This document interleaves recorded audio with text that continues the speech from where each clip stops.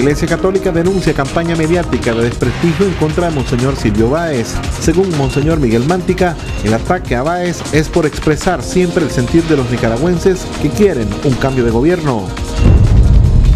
Diversos sectores nicaragüenses consideran que el Vaticano debe sentar su posición respecto a lo que consideran una campaña de desprestigio en contra del obispo auxiliar de Managua, Silvio Báez, por la publicación de un audio donde le inculpan de un supuesto golpe de Estado. Economistas consideran que si el gobierno de Nicaragua no llama a una mesa de negociación con la oposición, el país vivirá bajo el caos político con repercusiones catastróficas en la economía nacional.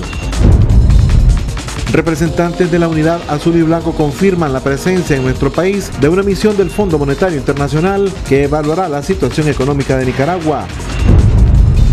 Denuncian negligencia médica en un hospital de Bilwin, Puerto Cabezas, donde el personal médico supuestamente declaró negligencia médica en la muerte de un niño.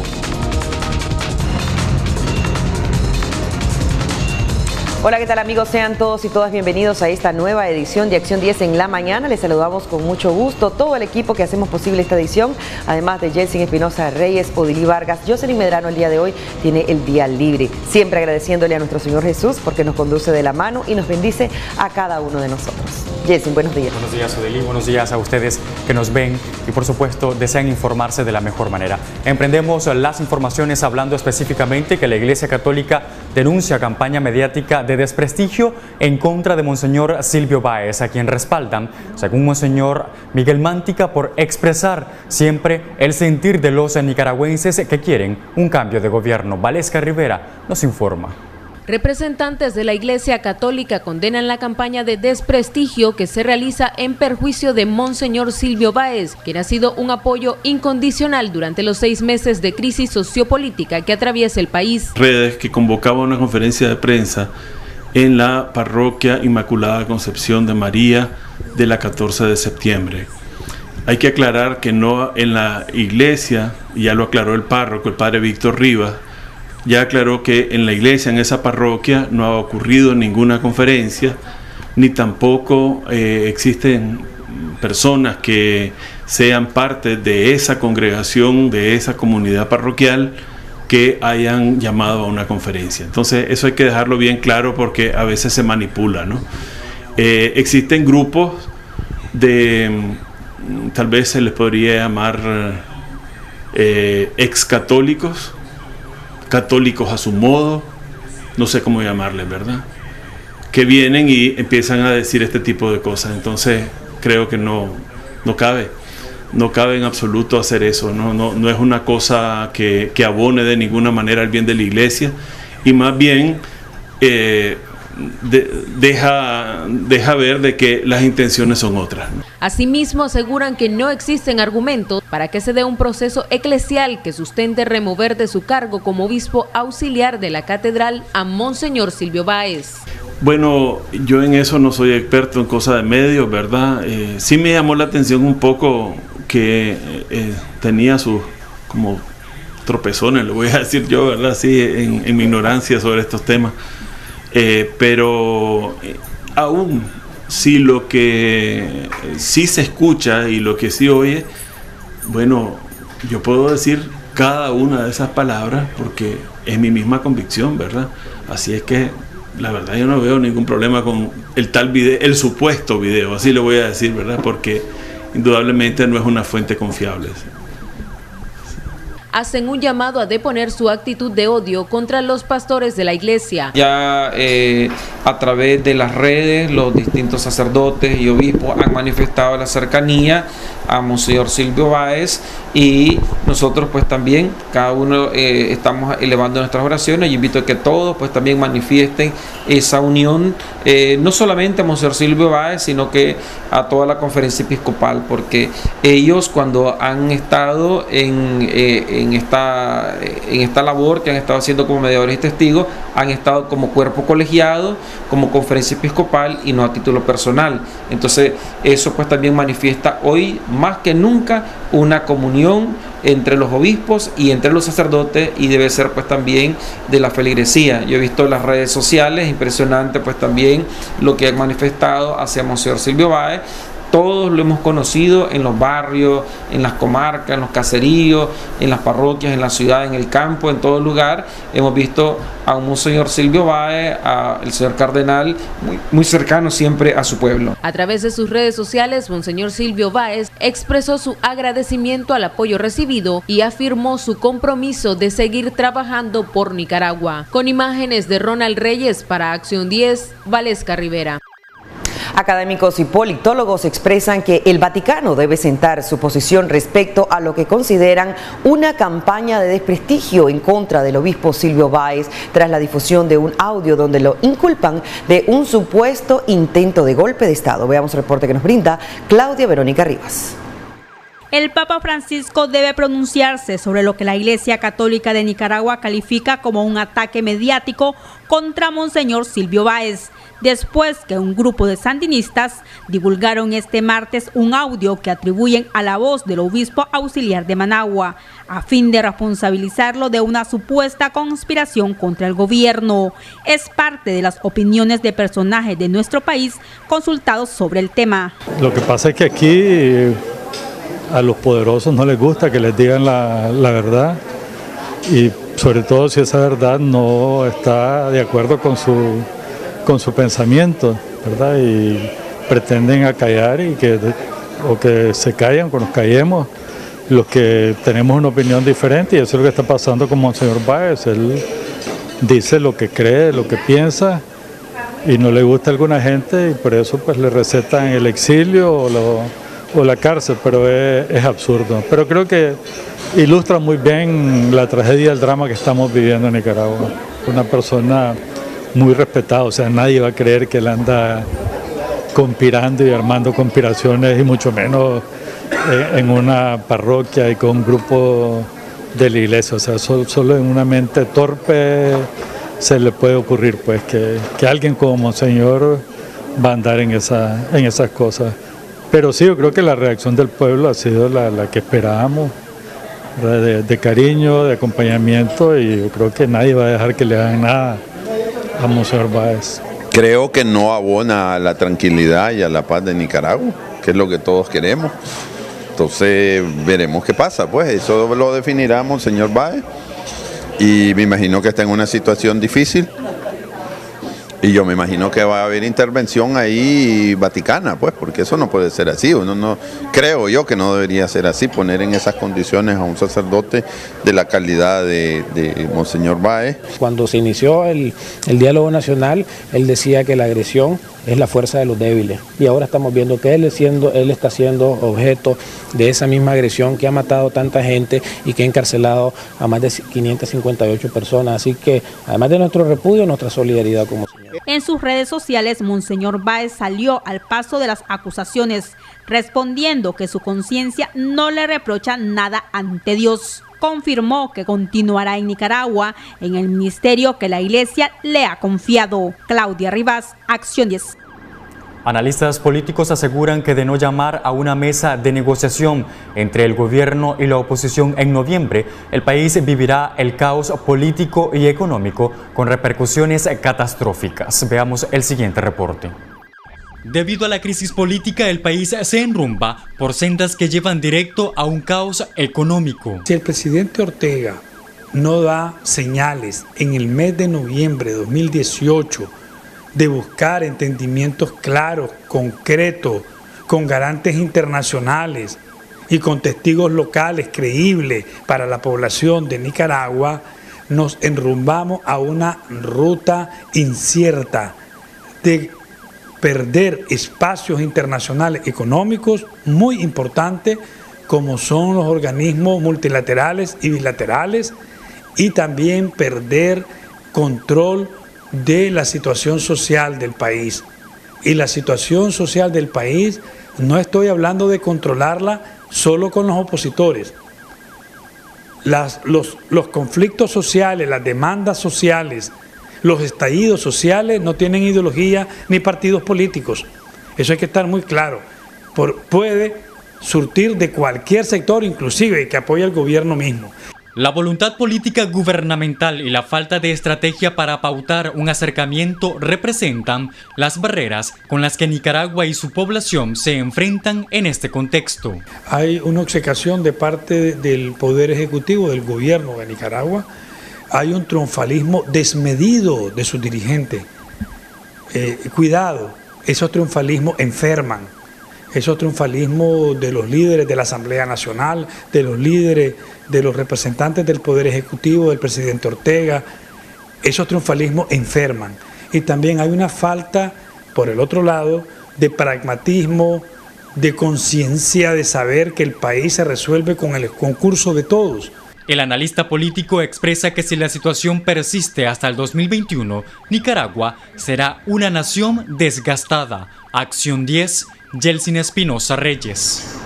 Juan Sebastián Chamorro, miembro de la UNAP, comentó que ya se encuentra en Nicaragua una misión del Fondo Monetario Internacional.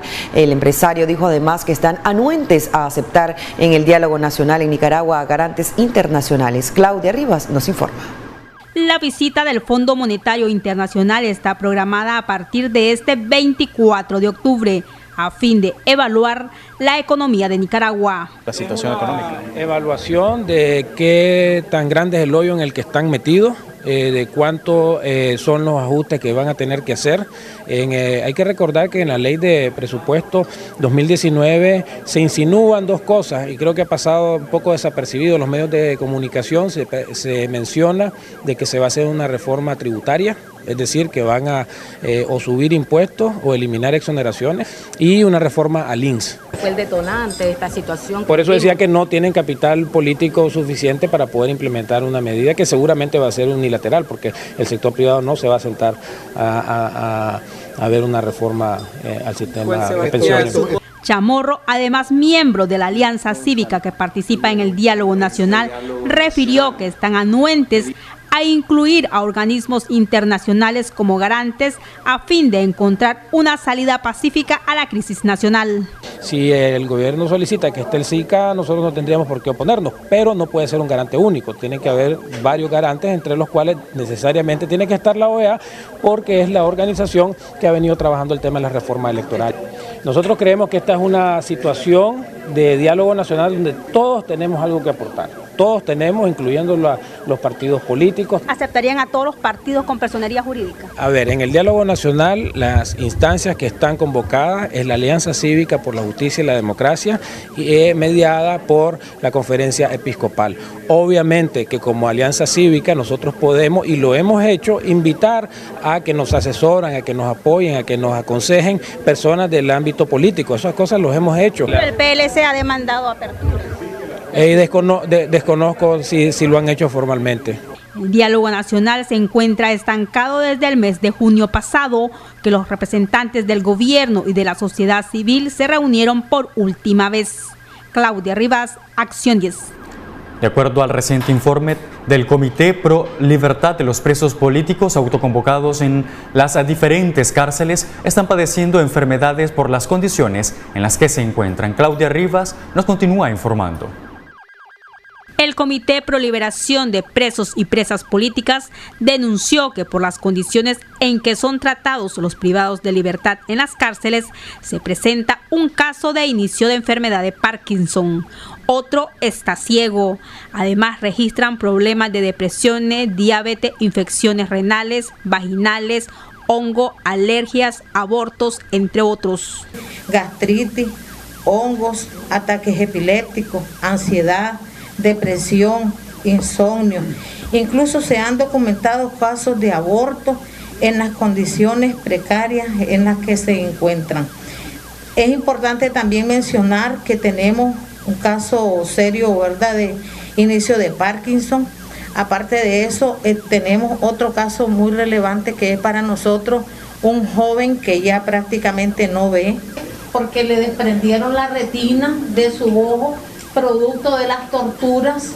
Además, reiteraron que están los privados de libertad que padecen enfermedades crónicas de gravedad y no tienen asistencia médica. Estamos viendo también el caso de Brenda Muñoz. Ella tiene cáncer. Carlos Brenes fue una persona que ya entró golpeado, maltratado y también este, iba mal de salud. Él presenta presión arterial alta y presenta diabetes. Nardo Sequeira, que tiene problemas serios de salud diagnosticados. Los medicamentos que ingresamos con receta y dictamen médico no son entregados.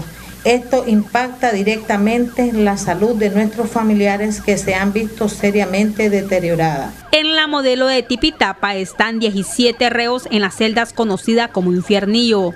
Salió a luz pública una carta donde denuncian las condiciones en que se encuentran. Desde el 8 de octubre ellos están en una huelga de hambre, no total, sino en una jornada de rechazar todo lo que el sistema penitenciario les da. Eh, por estas razones, ellos también, este, dentro de esta jornada, ellos tomaron la decisión de cantar el himno nacional todas las mañanas y rezar el Padre Nuestro todas las mañanas. En esta nota ellos aclaran de que los están amenazando con quitarle los paquetes que nuestros familiares les están introduciendo. Es una celda que están alejadas a tres kilómetros del sistema penitenciario, son completamente sin ventilación, sin luz solar. El comité contabiliza 558 reos. 512 casos son hombres y 46 mujeres. Hay gente que tiene problemas serios de salud que está ahí presa y otras personas que por las condiciones del sistema penitenciario o del chipote han adquirido enfermedades, como eso que ha sido muy eh, comentado, lo de los hongos. El día viernes las presas de la Esperanza realizaron una protesta el día que salieron a Patio Sol. Todas salieron juntas y se pintaron la hoja en rojo. Recibieron represión, recibieron una requisa sin que ninguna de ellas estuviera presente. Les retiraron los maquillajes, les retiraron ciertas cosas de uso personal. Las tuvieron fuera de sus celdas hasta dos horas en el sol. Como comité de de proliferación de presos y presas políticas, estamos en total apoyo al señor, al monseñor Báez, debido a que ha sido la Iglesia Católica la que nos ha acuerpado, no solo a nosotros como madres, sino a toda Nicaragua. Ante la Comisión Interamericana de Derechos Humanos se denunciará al Estado de Nicaragua por la situación que padecen quienes se encuentran privados de libertad en este periodo de crisis social y política. Claudia Rivas, Acción 10. Familiares de un joven de 26 años detenido el pasado mes de septiembre tras su participación en las marchas de las chimbombas denuncian que está sufriendo graves problemas de salud sin que le den atención médica. Veamos el reporte que nos brinda José Abraham Sánchez producto a las torturas físicas en la dirección de auxilio judicial conocida como el Chipote. El joven de 26 años, Einar Josué Baltodano Escobar, ha convulsionado en más de 30 ocasiones sin ser llevado al médico. Y es que según la CPDH, las autoridades del centro penitenciario de Tipitapa parecieran tener pecho de lata donde no entra sentimiento humano alguno. Y pegábamos gritos, eh, dimos golpes a los portones y todo para que lo vinieran a atender y no querían atenderlo, porque creían que era pues, qué sé yo, mentira tal vez de ellos pero él estaba convulsionando en el suelo y no paraba de convulsionar. Al ver tanto escándalo, dice, ellos vinieron y lo que hicieron fue inyectarle tres inyecciones de diazepam para ver si con eso tal vez él dejaba de convulsionar, pero eso fue peor. Allí en el sistema no lo han golpeado, pero sí él estuvo 12 días en el chipote y en el chipote sí, todos los días dice que lo sacaban a interrogar, todos los días lo golpeaban y él tiene golpes en la cabeza que le dieron con armas, no sé si con AK, no sé, las armas que usa la policía que son armas grandes. Otros reos políticos, incluyendo un ex antimotín de la Policía Nacional, pasa por lo mismo. La Comisión Permanente de Derechos Humanos este, quiere referir y manifestar lo relativo a la situación del trato que se está llevando en los centros penitenciarios. De anticipado referir lo que pasa con Julio César Espinosa Gallego, eh, que dentro del proceso se conoce que él fue antimotín y producto de una pedrada en la cabeza, él tuvo que remitirse a un centro, se le dio un tiempo para efecto de su recuperación y posteriormente pues está siendo objeto de proceso penal. es decir, un antimotín. A Einer Josué Baltodano Escobar se le acusa de haber supuestamente quemado la patrulla de la Policía Nacional en la última marcha de los azul y blanco en el mes de septiembre. Con cámara de Erasmo Hernández, José Abraham Sánchez, Acción 10. Con esta información hacemos una pausa comercial. Enseguida regresamos con más en Acción 10 en la mañana.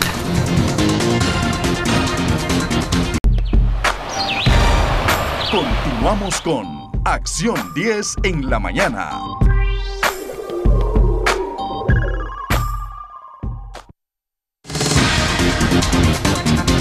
Retomamos las informaciones. Organismos de derechos humanos denuncian más detenciones en el departamento de Matagalpa. En las últimas horas, cinco jóvenes han sido detenidos supuestamente por participar en manifestaciones contra el gobierno de Ortega y Murillo. Eduardo Montenegro Chavarría nos comenta sobre este detalle.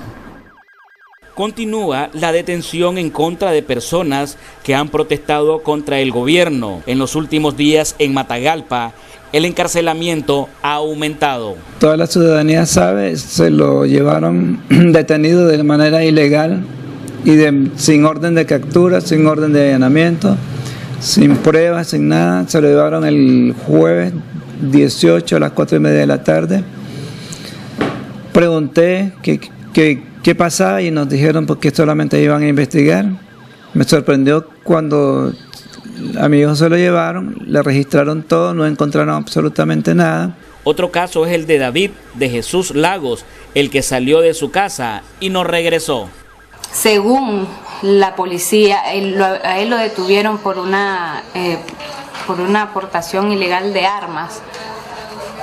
Y sí es cierto, él tiene un arma. Esa arma él la compró en estos días, en estos días, unos días anteriores y él anda la eh, yo tengo la aportación y tengo la escritura de esa arma. Él anda todavía con la aportación del dueño anterior porque en la policía no había trámites para hacer eso. Un reo me mandó un mensaje con uno de sus familiares y dijo que por favor me avisaran a mí que a David lo estaban torturando. Dice que a él le enteiparon su boca, le enteiparon la cabeza y lo comenzaron a golpear y que para que él no gritara.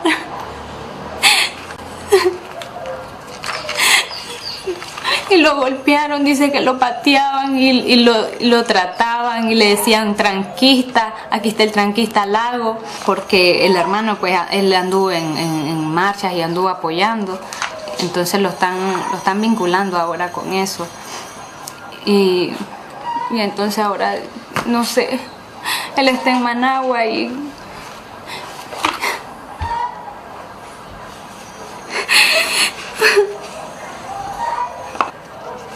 tengo miedo pues que, me lo den por perdido, que me lo den por desaparecido.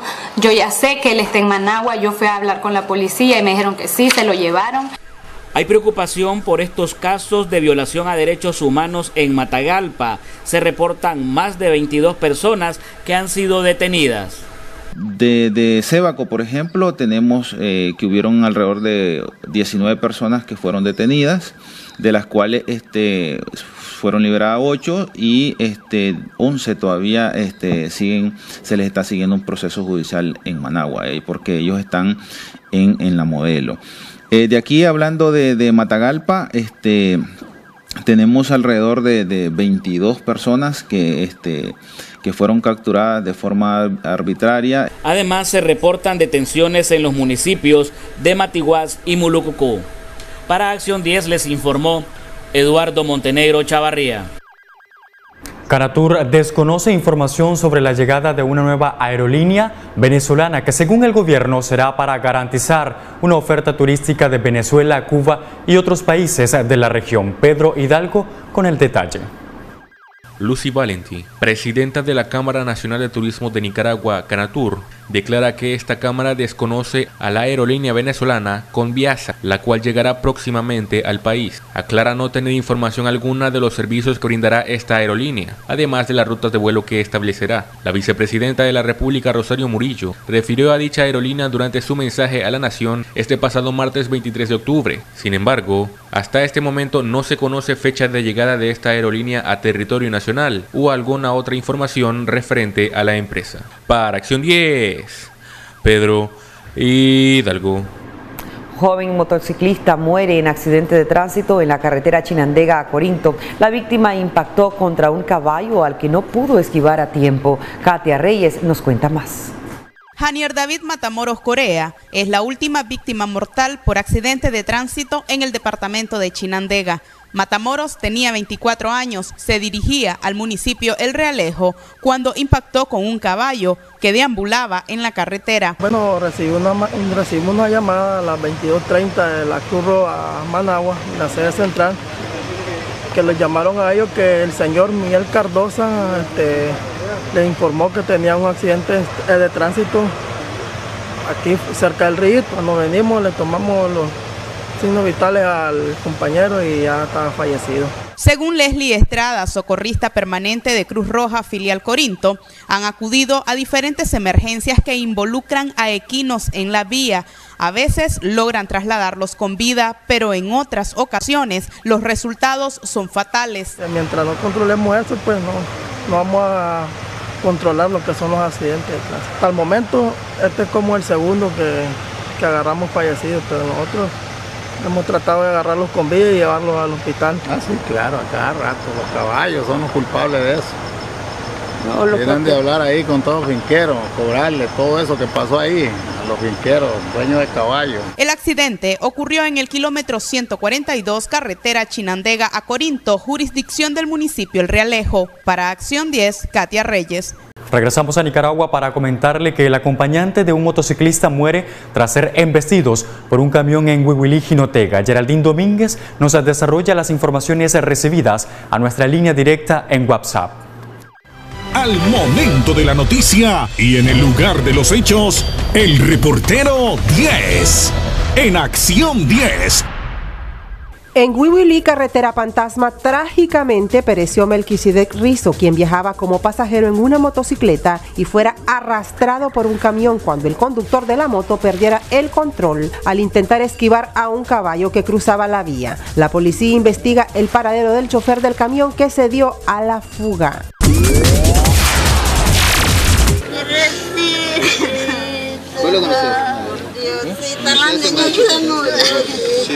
Son los gritos desgarradores de una madre de una niña de 8 años que fue atropellada por una camioneta en Caño Luis, Río San Juan. La pequeña no resistió el fuerte impacto y su muerte fue instantánea. Según informantes, la camioneta pertenece a la alcaldía de San Miguelito.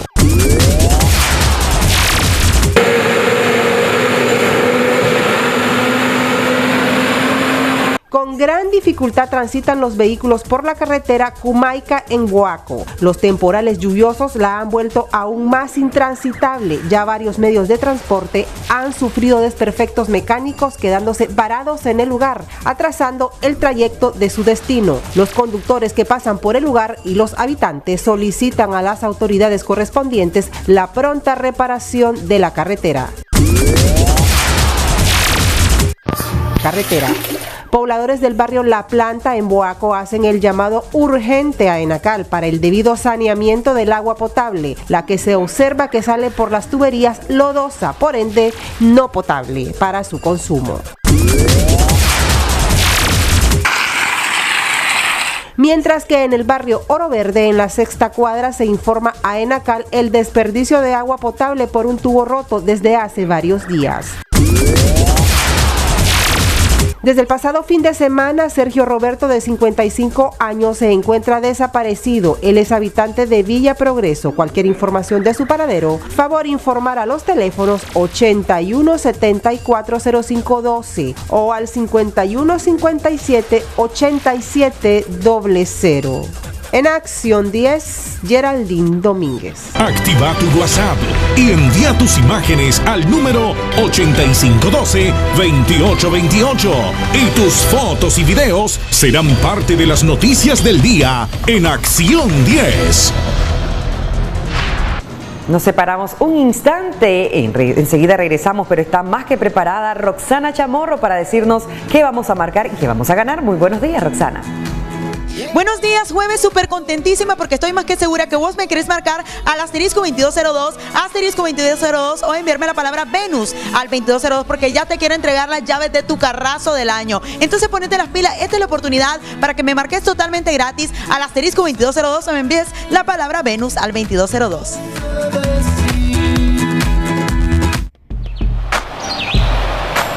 Ya regresamos con Acción 10 en la mañana. Gracias por continuar con nosotros a través de Acción 10 en la mañana. José Abraham Sánchez nos cuenta cuáles son las expectativas de fin de año para los vendedores de autos usados afectados por la crisis de estos últimos meses en Nicaragua. Veamos. Mejorar un poco sus ventas son las esperanzas que tienen los vendedores de autos usados en el país, ya prácticamente entrando la época navideña. En el sector de residencial El Dorado se ubican ocho de estos negocios. En años anteriores podían vender hasta 1.500 vehículos al año. La expectativa que tenemos y a lo mejor hasta otros comerciantes es de que como buscar la forma de, de, por lo menos vender algunos vehículos, ¿verdad? Para poder al menos pagarle a, a, nuestros trabajadores, salir de algunas deudas que tenemos nosotros con el banco. Según el empresario Miguel Ángel Contreras, la época de mayor auge económico para el sector fue en los años 90 y ellos se consideran parte del motor económico. Porque aquí no había vehículos, José Abraham. Y, y aquí, eh, si tal vez vos también vos recordás que a lo mejor te va a causar risa, ¿verdad? Que aquí lo que en ese tiempo habían vehículos que vivían, vivían haciéndole injerto. Cuando te hablo de injerto, José Abraham, eh, un forro, un IFA, andaba el repuesto de, del, el del IFA, lo andaba el forro, o el del forro lo andaba el IFA, viceversa, ¿verdad? Eh, una llanta más grande que otra, ahí miraba vos los vehículos y este se lo dio la oportunidad de importar vehículos y de esa fue la forma, ¿verdad? De que aquí este se levantó, este país, ¿verdad? Con todas las importaciones que se hacían, camiones, camionetas. Esperan que nuevamente se levanten las restricciones al sector de importadores de autos usados. La mayoría de esa clientela utilizó 6 mil o 7 mil dólares para ir a dar la prima por un vehículo nuevo, ¿verdad? Que al final ni pudo terminar pagándolo, ¿verdad? Y más bien le quitaron el vehículo, se quedó con la deuda y en cambio, si que venía aquí a donde nosotros, compraba un vehículo usadito, bueno, ¿verdad? Y en menos, en menos cantidad de dinero, estamos hablando de 5 mil, 6 mil dólares, y ya de él que podía ir a trabajar. Entonces muchas personas se quedaron con una grande deuda ¿verdad? y sin el vehículo. Se estima que con la crisis social política del país, los importadores de autos nuevos también bajaron sus ventas hasta en un 20%. Empresas con capitales grandes eh, exigieron o presionaron, mejor dicho, al gobierno, ¿verdad? Que los pusieran restricciones, ¿verdad? A este sector de vehículos usados. ¿Cuáles restricciones? Por ejemplo, las restricciones eh, que se importaran vehículos más nuevos, ¿verdad? Eh, en las aduanas con las complementarias, ¿verdad? Y un sinnúmero de, de, trabas, ¿verdad? Que es lo que hemos venido presentando. Pero esperamos, ¿verdad? Que eh, el gobierno, pues, los dé una oportunidad, ¿verdad? Y quite esas restricciones, ¿verdad? Y para volver a levantar la economía de este país. Con cámara de Erasmo Hernández, José Abraham Sánchez, Acción 10. En un polo diferente de la noticia recibe su sentencia el hombre que el pasado mes de febrero mató de 17 puñaladas a su pareja en una comunidad de la Trinidad en Estelí. Juan Francisco Dávila nos recuerda dicho crimen. Primero me pegó un dolor al lado izquierdo del corazón y después me la cabeza. A pesar de que la defensa de Orlin Antonio Blandón, de 33 años de edad, acusado del delito de femicidio en contra de su pareja Marta Lorena Benavides, de 32 años, alegó que este cometió el crimen por padecer de esquizofrenia y que debería de ser enviado a un centro psiquiátrico. Esto de nada sirvió ya que al final del proceso judicial fue sentenciado a 20 años de cárcel y remitido al centro penitenciario de Estelí. En el momento de los hechos, ella no eh, logra precisar si estaba bajo una crisis de su enfermedad porque él no fue valorado en ese momento. Una cosa es la situación eh, mental de la persona en el momento de los hechos y otra cosa es la situación actual. El cuerpo de la víctima, quien recibió unas 17 puñaladas en diferentes partes, fue encontrado más tarde tendido y detrás de la casa que habitaba por su hijo menor de edad, quien regresaba de una celebración religiosa dominical. Debía de imponerse la pena máxima por concurrir tanto agravantes como atenuantes y debido a la gravedad de los hechos. Eh, se va a estudiar con mayor profundidad pues, la sentencia para determinar las posibilidades de una apelación. 30 años sería. Sí, esa fue la pena solicitada tanto por el Ministerio Público como mi persona. El caso ocurrió en la comunidad de Monteverde, en el municipio de La Trinidad, departamento de Estelí, el 26 de febrero del corriente año. El femicida había huido a un sector cercano y fue detenido totalmente transformado un mes después sobre el tramo de carretera entre San Isidro y Telicaleón. En Estelí, Juan Francisco Dávila, Acción 10. Y en otras informaciones, familia de un niño a quien erróneamente declararon muerto en el hospital de Bilwi demandan justicia de investigación a fondo del caso. Veamos el reporte que nos brinda Georgina Vargas. Mira, ese es el problema de aquí de Puerto Cabeza. No hay ningún hijueputa gobierno que se ponga a pichar a esos hijueputas doctores que están ahí, los mierdosos.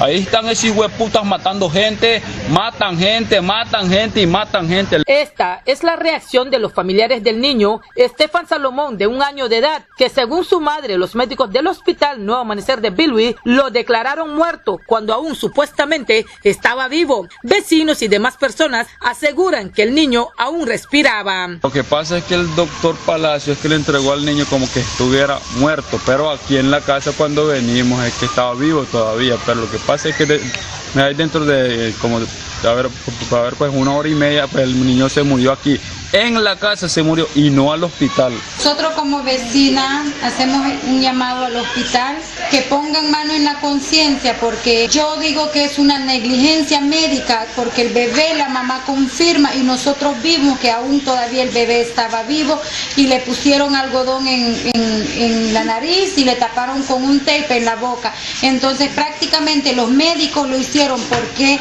el niño más que todo murió asfixiado. El niño ingresó al centro asistencial por neumonía. En los últimos días había mostrado mejora, según su progenitora. Ruth Bintahikan.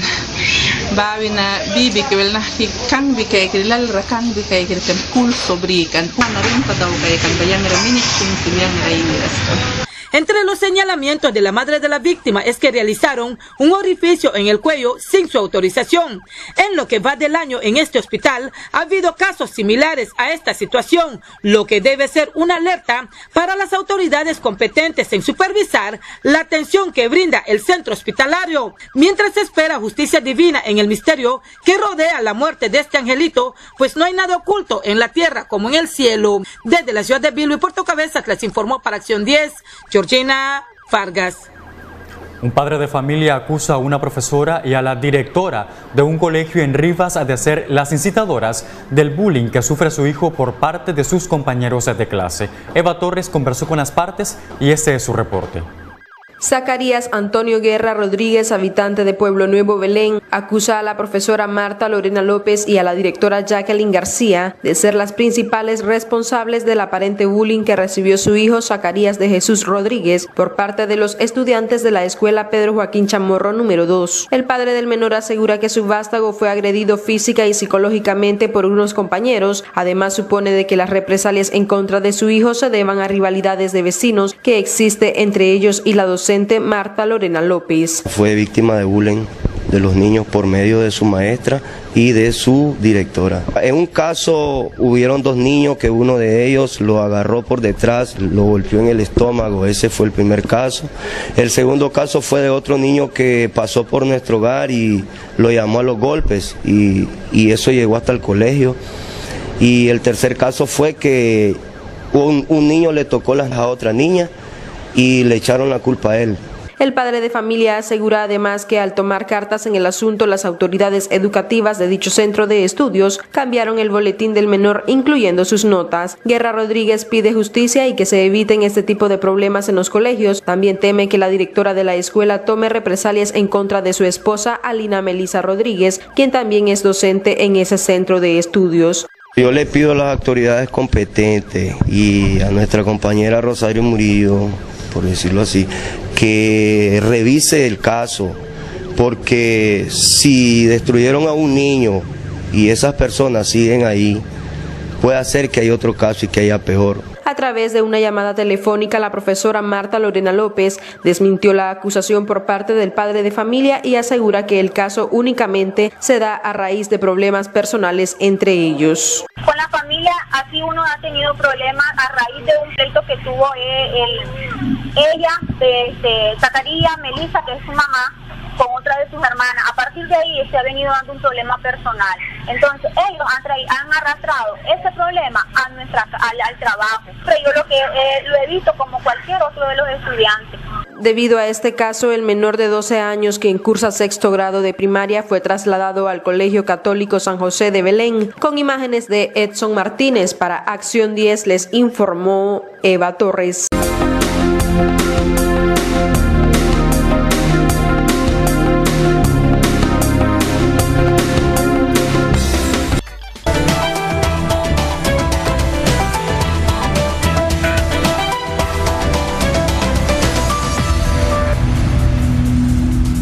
La insulina es una hormona producida por el páncreas que contribuye a regular los niveles de glucosa en sangre. Esta hormona es vital para el transporte y almacenamiento de la glucosa en las células. Ayuda a utilizar la glucosa como fuente de energía para el organismo. Se debe inyectar en la grasa que está debajo de la piel y no en el músculo. Conoce un poco más de este tema en la siguiente entrevista. Daniela Rodríguez Morazán, Acción 10 en la mañana.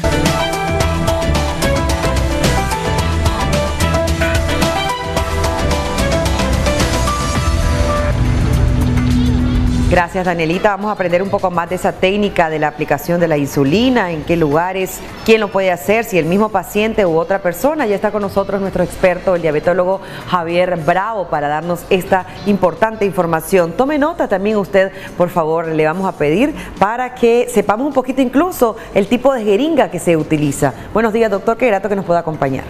Gracias, verdad. Una vez más aquí en la revista, eh, una de las cosas importantes es la insulina, que es una hormona, verdad, que se, es producida por el páncreas y que a la misma vez nos sirve para disminuir lo que son los niveles de glucosa o la ingesta de comida. Eh, normalmente eh, el ser humano puede vivir sin páncreas, pero no puede vivir sin, sin insulina. Cuando el paciente es diagnosticado como diabético tipo 1, pues obviamente el, el primer tratamiento que recibe es la insulina. Cuando ya es diabético tipo 2, pues se inicia con tratamiento farmacológico y posteriormente en el transcurso de la enfermedad este paciente puede llegar a utilizar insulina. Una de las cosas importantes, ¿verdad? En la técnica de aplicación de insulina es sobrepasar lo que es la barrera psicológica. Muchos pacientes cuando ya le, le, inicias la insulina, lo primero es que tienen fobia es a la jeringa. Okay. Saber que se tiene que inyectar en la mañana, saber que se tiene que inyectar en la tarde o saber que se tiene que inyectar cuantas veces sea necesario con tal de disminuir lo que es parte del, del, de, los niveles de glucosa. Entonces, si nosotros hablamos meramente, con, en el caso que fueran niños y hablamos con, con, el padre de familia, esto nos ayuda bastante a que el padre vaya con el niño o un familiar vaya con el niño, se le indica a, a, al padre que se inyecte agua destilada o solución salina con el objetivo pues de que eh, eh, el paciente o el bebé o el niño pues agarre confianza y a la misma vez se puede inyectar, ¿verdad? En el caso de los adultos sí también es importante porque hay muchos adultos que no se inyectan solos, simplemente buscan un familiar o acuden a algún lugar para que los estén inyectando. ¿Entiendes? Entonces eso es una de las cosas importantes. Lo segundo Sí. que hay que hacer es buscar la zona de administración. ¿Cuál sería la zona de administración? es la, la región de los glúteos, la región de los muslos, la región de los brazos, pero en la parte posterior. ¿Ve? Y lo que es también la región del abdomen. Dos centímetros a la redonda se puede eh, eh, empezar a inyectar. Esas áreas son donde están menos inervaciones nerviosas, es donde más hay tejido adiposo y donde mejor se absorbe la insulina. Ok, doctor, cuando nosotros estamos hablando un poco de las técnicas, ese paso a paso, porque hay pacientes que quizá es la primera vez que le dicen, mire, usted va a ser un paciente insulino dependiente, incluso por decirlo así, entonces el paciente dice, ay, me voy a, voy a inyectar el, el estómago, y a veces hay como una receptividad a eso, quizás nos explica la técnica paso a paso después de la siguiente llamada. Muy buenos días, adelante, le escuchamos. Buenos días. Bienvenida. Bueno, gracias. Me gustaría una consulta con el doctor diabetólogo. Mire, ah, debido a las consecuencias que han habido, a mí me han diagnosticado diabetes. Pero fíjese que yo tengo un problema. Me tomo la metformina, a mí el azúcar se me sube. Entonces yo estoy luchándola con dieta y evitando todo lo que es dulce. Entonces yo me gustaría que un doctor, a ver me regalaba una consulta para que él me mirara y no caer en eso de la insulina. Porque la verdad que no, no me han diagnosticado, me dijo el doctor que era prediabética. Pero mire, yo me mantengo en 105, si yo me bebo la metformina, a mí se me sube hasta 180, 200, entonces como que te- tengo un descontrol y pues la verdad que no me gustaría caer en eso de la insulina porque no sé qué está pasando con mi diabetes. Como no, déjenos sus datos completos y su número de teléfono, por favor, y después usted le va a llamar al doctor para que le dé esa cita. Muy importante lo que ella explicaba. Así ella se mantiene en 105, ¿es normal ese, ese estado? Está en de- fase de prediabetes, lo que hay que averiguar es la- la- hacer otro tipo de exámenes para determinar si su páncreas pues está funcionando. A veces se le eleva a 180, decía ella. Puede ser eh, después de una comida a lo mejor. Entonces habría que regular lo que es la alimentación y hacerle control de glucosa por las tardes para ver hasta dónde el nivel que llega. Doctor, pero si a ella se le eleva a 180, ya deja de ser prediabética para ser paciente diabético. ¿Cómo es, Es que, eso? ya, es que ya hay rangos en los cuales se determina. En fase, eh, eh, la glucosa en ayuna, como ya dicen, 105 en ayuna. Sí. Y pospandrial, o sea, después de las comidas que puede elevarse hasta 160, 180. Ok. Lo que hay que ver en cuánto tiempo es que tiene ese 180, si a la hora de comer, o a las 2 horas, o a las 4 horas. Entonces, para eso se le hace otro tipo de exámenes. Ok, ahora sí el paso a paso, doctor, y quizás nos eh, presenta un poco la jeringa Sí, aquí que, y la agujita, traje- que es lo que más, ¿verdad? Estresa. Exactamente, traes una muestra de, de- de jeringa en la, que- en la cual podemos determinar que el paciente, eh, si se está aplicando más de 70 unidades eh, en la mañana y 50 en la tarde, podemos ocupar la jeringa de, de- de 100 unidades. En caso de los pacientitos que solo se aplican 10 unidades o 15 unidades al día, podemos ocupar la de 30, ¿verdad? Ok. Hay otra muestra de 50 y hay otra de 100. Ok, son agujitas muy pequeñas estas, doctor. Exactamente. En cuanto al, ta- al tamaño de la aguja, podríamos tener que esta mide aproximadamente 4 milímetros. Hay de Ok. 4, de 5, de 6 y de 8. Ujú. Cuando traemos este tipo de, de- de aguja, ¿verdad? esta la podemos aplicar en un ángulo de 90 grados, es decir, recta. Supongamos que este es el área, entonces se pone en recta. Ok. ¿verdad? Esto ayuda bastante a que no se vaya hacia el músculo. Y así la absorción de la insulina sea mejor. ¿Qué sucede si hincamos o, o- o se va al músculo la insulina? Lo primero que puede ocurrir es atrofiarse. Puede ocurrir- o- o Se pone causar una- morado, una, un morado, una pelotita ahí y la insulina no se absorbe. Entonces el paciente va a andar su nivel de glucosa alto. Entonces la técnica más indicada en este tipo de aguja es de manera recta. Ok. Hay agujas que son un poquito más grandes, como Sí. podemos ver esta, que ya mide más o menos entre 6 y 8. Sí. Entonces este tipo de aguja se puede utilizar en un ángulo de 45 grados con el objetivo de evitar de que llegue a la región del músculo. Ese es más grande, esa Este agujita. es un poquito más grande. Inclusive hay otra que Entonces ahí va de como de ladito. En este, en, con este tipo de jeringa se puede aplicar en un ángulo de 45 grados, Ujú. de esta manera, más o menos así. Ok, como acostadito Como entonces. acostadita. En el caso de diagonal. que se pueda inyectar a nivel del ombligo. ¿verdad? Alrededor del ombligo, Sí. se puede hacer un pliegue y aplicarse de manera de un ángulo de O 45 sea, se agarra la, la piel acá y ahí se inyecta. Ahí se inyecta, exactamente. tenemos una llamada. Muy buenos días.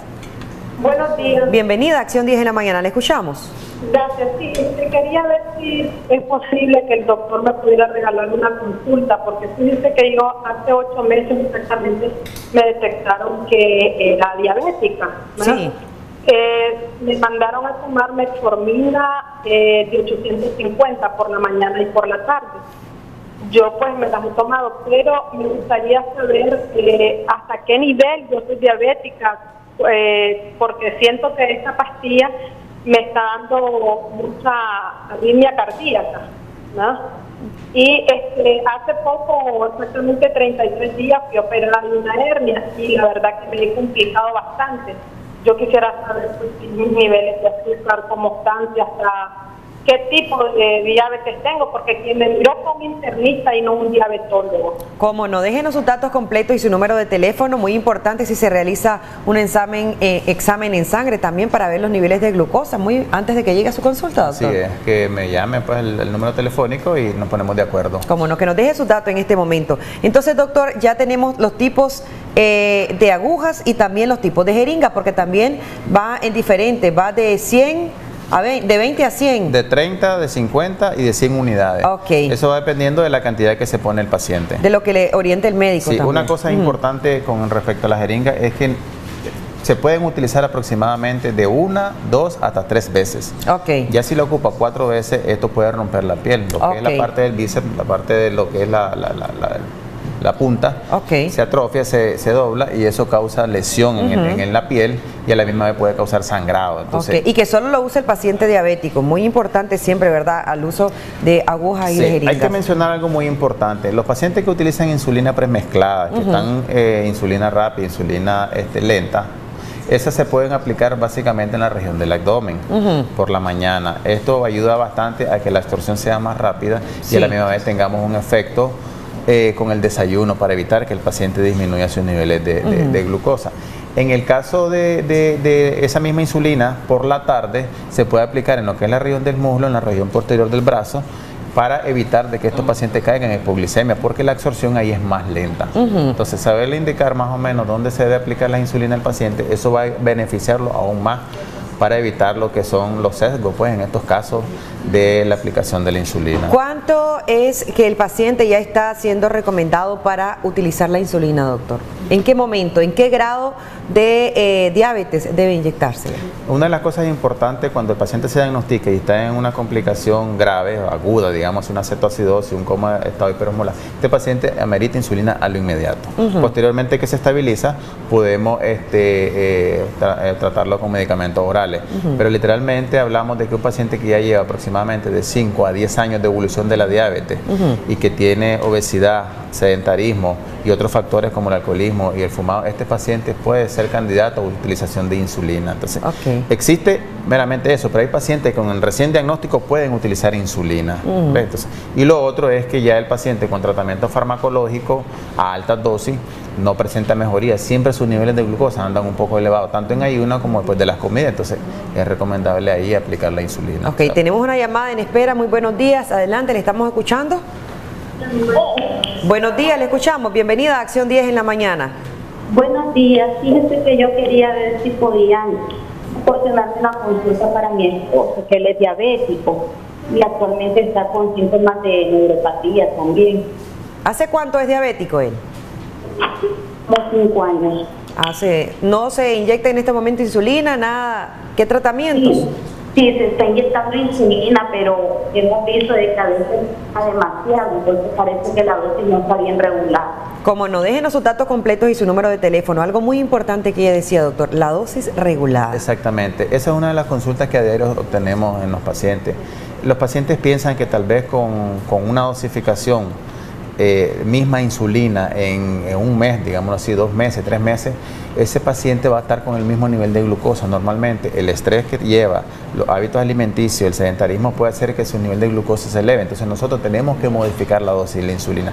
Por eso es importante, como decíamos anteriormente, cuando rifamos los glucómetros, que el paciente debe tener su glucómetro para que se chequee el azúcar y determinar cuánto tiene en ayuna. Y de- de- en base a eso vamos modificando dosis de Como insulina. llevar un conteo, un librito, entonces una libreta. Eso aquí. es día a día en el paciente diabético. No se debe descuidar porque las complicaciones crónicas están a la vuelta de la esquina. Aparecen inmediatamente y cuando miramos ya el paciente termina amputado. Sí, doctor, ¿qué complicaciones llevaría al paciente? Dos, dos cosas extremas. Uno, o que no se aplique la insulina que le ha recomendado el experto, el especialista, o que se eh, sobredosifique.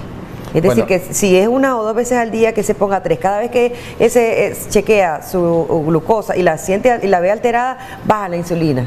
¿Qué Sí, provoca? eh, cuando se aplica exceso de insulina, normalmente lo que hace es bajar su nivel de glucosa. Es decir, baja al, al grado de, de causar un estado de coma. También, wow. Exactamente, puede llegar hasta el 40, puede llegar hasta el 30. Entonces, el, el cerebro es uno de los órganos principales que necesita glucosa, entonces ese paciente puede caer en ese tipo de estado. Y el paciente que no se pone insulina, obviamente, va a elevarse los niveles de, de glucosa tan altos que lo puede llevar a una cetoacidosis o un estado hiperosmolar.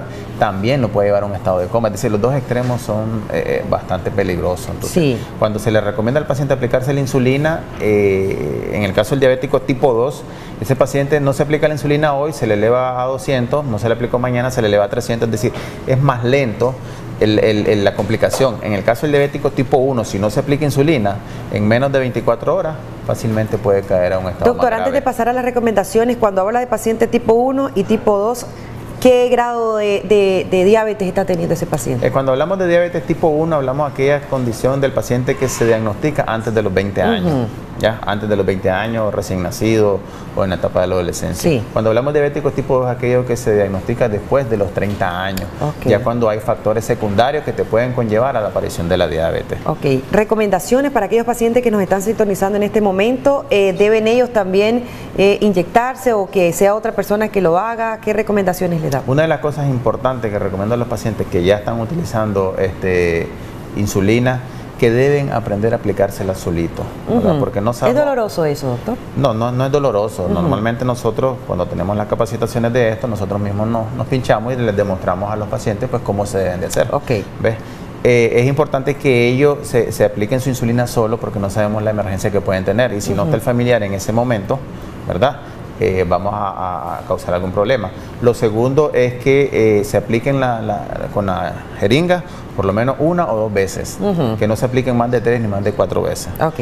Y lo otro, pues que estén siempre atentos a sus niveles de glucosa con el médico que lo está viendo o donde lo estén, donde lo están ¿El atendiendo. frasquito de insulina debe estar refrigerado? ¿Debe estar eh, a una temperatura ambiente, doctor? Eso va dependiendo de la- de- del tipo de insulina. Hay insulinas que se pueden mantener refrigeradas y hay insulinas como los de lapicero que pueden mantenerse normalmente a una temperatura fresca y pueden, el paciente los puede andar y las pueden aplicar. Como no, doctor, muchísimas gracias por esa importante información. Ya veíamos nosotros en las diferentes presentaciones, eh, también de las jeringas, los tipos de agujas, qué hacer en el momento que nos inyectamos, la forma de hacerlo. Muchas recomendaciones de nuestro diabetólogo. Con esto nosotros nos despedimos. Gracias, doctor. Lo esperamos la próxima semana, si Dios así nos lo permite. Mientras tanto, Jessy Espinosa Reyes está más que preparado. Adelante, Jessy.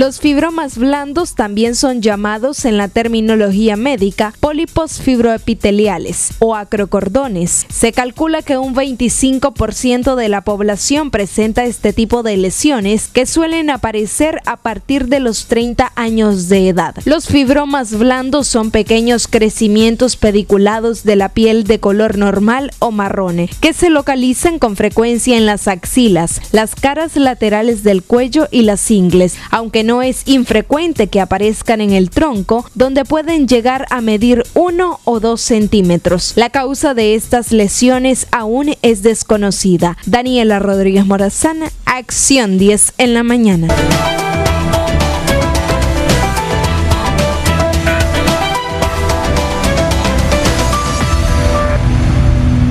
De inmediato vamos a abordar con exactitud ese tema, es decir, los fibromas blandos. ¿Qué es exactamente? Daniela nos regalaba una introducción sobre ello, pero ¿quién precisamente mejor que nuestra especialista, la dermatóloga, quien ya tenemos acá, doctora Génesis Pérez? Es un placer poderla tener.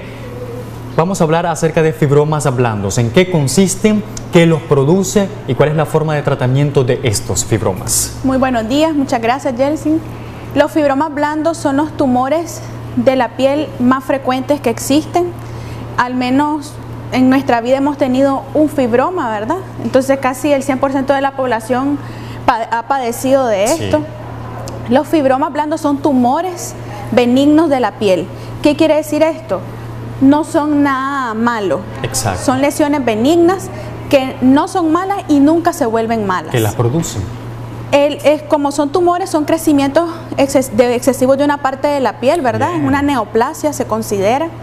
Y hay factores que pueden influir para que una persona tenga muy numerosas lesiones. ¿Cuáles son esos Una factores? de ellas, por ejemplo, son los trastornos metabólicos. Las personas que eh, están en una etapa de prediabetes o diabéticos Sí.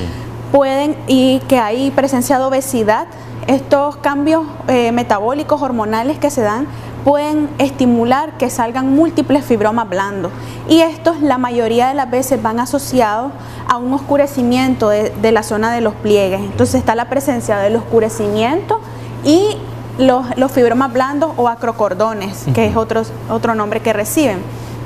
Entonces, y la piel se encuentra un poco gruesa. Entonces, esto al médico lo alerta a que además de eliminar las lesiones, ¿verdad? Hay que hacer estudios en el paciente para descartar pues algún proceso de diabetes y este, indicar al paciente pues eh, que baje de peso para que esto deje de estar saliendo. Las principales zonas de afectación de estos fibromas. La mayoría de las veces se localiza a nivel del cuello, en las partes laterales, las axilas y la región de la ingle. Pero no solo se localizan en esas, esas es, la- es el área más frecuente, pero pueden localizarse a nivel de los párpados, pueden haber en el rostro y en cualquier otra zona del cuerpo, en los glúteos, en el abdomen, en la espalda. El tratamiento de los fibromas blandos este, se tratan únicamente por factores estéticos. Exacto, creo que ese es el factor no elemental, dado que la persona se ve y, y- y le disgusta verse con ese eh, exceso de piel, piel. En, en el área ya determinada. Así es, entonces eh, quitarlos pues no, no es tan necesario a menos que la persona no le guste vérselo o les molesta, porque si se encuentran en una zona donde se hace presión o si se enreda con algunas, pre- eh, se tiende a inflamar y a doler. Bien. Entonces eh, ahí está indicada la exéresis, quitar la lesión, pero si a la persona no le molesta, pues no es necesario quitarla. Y la mayoría de las personas no queremos andar ninguna lesión Sí. en la piel, entonces sí ahí está recomendado también eliminarlas. ¿Qué nos indica cuando hay una presencia abundante de estos fibromas? Bueno, la, generalmente lo- la mayoría de las personas tienen pocas lesiones, dos, tres lesiones pequeñas. Pero cuando hay un exceso de lesiones, es decir, un número en las que se ven el montón de pelotitas en el cuello, pues eso es que eh, están saliendo demasiado y ahí uno tiene que alertarse Ojo, y enviar sí. sus estudios para descartar que, que el paciente tenga algún trastorno metabólico. Como hemos dicho, doctora Génesis, este problema es casi ya común en los nicaragüenses y en la sociedad de este país. Por ello, vamos a recibir la siguiente llamada telefónica para que comparta con nosotros la situación con relación a los fibromas. Adelante, muy buenos días. Muy buenos días. Sí, caballero, le escuchamos. una consulta a la doctora. Tenemos, este, yo tengo como unos 10 años de padecer de unos granitos que me salen a- de atrás, de- del cabello para bajito. Sí. Pero fíjense que me pican, algunos se me crecen y, y se me maduran y y entre más me rasco, más este, como que se me hinchan. ¿Qué será bueno para, para ese problema? Dos preguntas antes. ¿Qué, les, ¿Qué le produjo exactamente estos puntitos como usted menciona o salieron así repentinamente? Y dos, su edad exactamente. Tengo 36 años y se- según el doctor me ha dicho que este, proviene del sol. Bien, vamos a, a explicarle con referencia a lo que él eh, expone, pero también que nos regale los datos a lo interno. Así es, que nos regale los datos, ¿verdad? Porque para el médico y el dermatólogo es muy importante ver. Una valoración. Sí, este, según lo que él me eh, está refiriendo por la localización y las características que menciona, puede ser algo que se llama foliculitis, ¿verdad? Este, y hay que revisarlo, determinar bien. Generalmente se localiza a nivel de la nuca y eso sí es muy frecuente en los varones, en los hombres, casi exclusivo de ellos, ¿verdad? ¿Por qué? No se sabe el por qué por la predilección del sexo, Bien. pero se piensa que es por los por el tipo de rasurado en los hombres que se utiliza máquina de rasurar y esa tracción en el pelo hace que se hinche.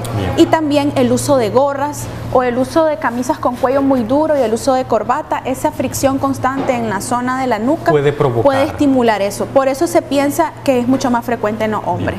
Quiero consultarle en cuanto a las edades. Hay una preponderancia a cierto espacio de edad que pueda aparecer ese, ese, fibroma? Los fibromas blandos afectan generalmente a los adultos jóvenes o personas mayores, pero puede afectar también a niños. Es poco frecuente, pero lo podemos observar en algunos niños. Perfecto. Una segunda comunicación inmediata en torno al tema. Adelante, muy buenos días.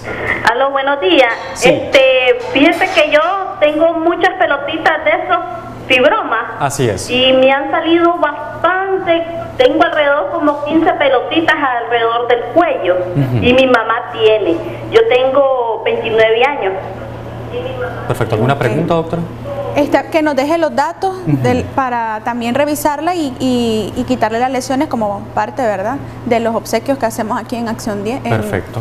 Y este, los tratamientos que se realizan depende también de- del tamaño de las lesiones. La mayoría de las veces son lesiones pequeñas y lo que hacemos son electrofulgurarlos, se, me- se llama el tratamiento, Sí. que consiste en un exéresis mediante calor o quitarlo con calor. Y cuando son lesiones mucho mayores, mucho más grandes, se tiene que hacer una cirugía. Bien. Entonces ya eso es una cirugía menor para eliminarlo. Es decir, hay dos opciones, una que no es tan invasiva y la otra sí, al momento de la cirugía, se puede explicar de esa manera. Así es. Entonces, esto de la cirugía de los fibromas es cuando son demasiado grandes. Entonces, que al quemarlos con calor queda piel abierta ahí y no, eso es- hace que se pueda infectar. Entonces, lo que hacemos es quitarlo mediante cirugía y hacer unas, una sutura ahí, puntos de sutura para que no haya riesgo de infección. Usted ha explicado ya en reiteradas ocasiones que estos fibromas son pequeños, pero pueden haber ocasiones en donde el fibroma sea grande o vaya creciendo paulatinamente. Así es, sobre todo en las zonas de los pliegues, en las áreas inguinales y en las zonas in- inferiores de los glúteos. Sí. Son las zonas donde pueden crecer más, más las lesiones. Por eso es importante también que el paciente los retire cuando están pequeños, que evita todo el proceso de la cirugía, que lleva mucho mayores riesgos, ¿verdad? Entonces lo ideal es eliminarlos mientras están pequeños. Miden más o menos entre unos 3 a 5 milímetros la mayoría de las veces y pueden llegar a, cre- a crecer hasta 2 a 5 centímetros. Entonces es mucho mejor quitarlos cuando están pequeños que cuando están grandes. Además que si se eliminan al estar más grandes queda una cicatriz en esa zona si es necesario hacer una cirugía. Si los quitamos cuando están pequeños, ahí en la piel no queda ni una sola marca. Con relación a que usted ha explicado ya la vinculación del metabolismo, es importante entonces, de cara a este tipo de problemas, buscar una solución en cuanto a la alimentación también del es. nicaragüense. Sí, además de los fibromas blandos, encontramos que hay en el paciente obesidad y un trastorno metabólico, pues uno de los tratamientos que se envía es la dieta y el ejercicio. ¿La dieta a base de qué exactamente? Bueno, eso se establece en conjunto con nutrición. La dieta consiste en una dieta balanceada. Todos podemos comer de todo, pero eh, está en las porciones que uno requiere. Exacto. Entonces, no es bueno tampoco eliminar por completo un determinado nutriente, porque eso nos llevaría a otras consecuencias. Hay que tener una dieta balanceada. Y algo muy importante que también hay que recalcar es evitar la automedicación. Algunas personas han- amarran hilos o amarran pelos alrededor de los fibromas para, por- para eliminarlos. Es Esta bueno. práctica no es buena porque al hacer eso lo que está provocando es que no le llegue oxigenación a la piel en esa zona. Y eso provoca inflamación e infecciones. Puede haber una complicación ahí, puede aparecer una, una celulitis en esa zona, que es un proceso infeccioso más profundo. Entonces estas prácticas no deben realizarse. O hay algunas personas que las queman con cigarrillo. Entonces hay que evitar todas esas prácticas que lesionan la piel. El uso, para ir finalizando, de prendas puede, puede provocar la desenca- o desencadenar exactamente estos fibromas. El uso no está relacionado con eh, la fricción o el contacto con eh, telas o metales. Lo que sí puede suceder es que como estas lesiones son colgantes, cuelgan un poco, sí enredarse en estas prendas, en cadenas, y eso pues a- a hacer que se inflame. Entonces, pues evitar, es mejor, si hay en una zona donde hay mucho roce, acudir para quitarlos. Perfecto. Si usted quiere eliminar este exceso de piel en ya áreas diferentes y mencionadas por la doctora, puede visitar la, dirección y el número telefónico. Es, la clínica Génesis está ubicada en Monseñor Lescano. Del supermercado La Colonia, una cuadra lago, 75 varas arriba, mano izquierda. Y puede llamar al teléfono 2250-2498. ¿Esto, doctora, puede suceder también o presentarse en menores de edad? Sí, no es verdad la edad frecuente, pero algunos niños pueden presentar fibromas blandos. No es lo común, pero sí puede suceder. Entonces, igualmente uno los revisa y conversamos con el niño, ¿verdad? Y lo eliminamos si es necesario. En cuanto a los ancianitos también. También, es, las edades adultas son las más frecuentes, entonces ahí igual uno lo valora y si es molesta la zona donde tiene la lesión, uno le elimina. Sabemos que la mayoría de las personas le tiene como fobia a lo que es la cirugía.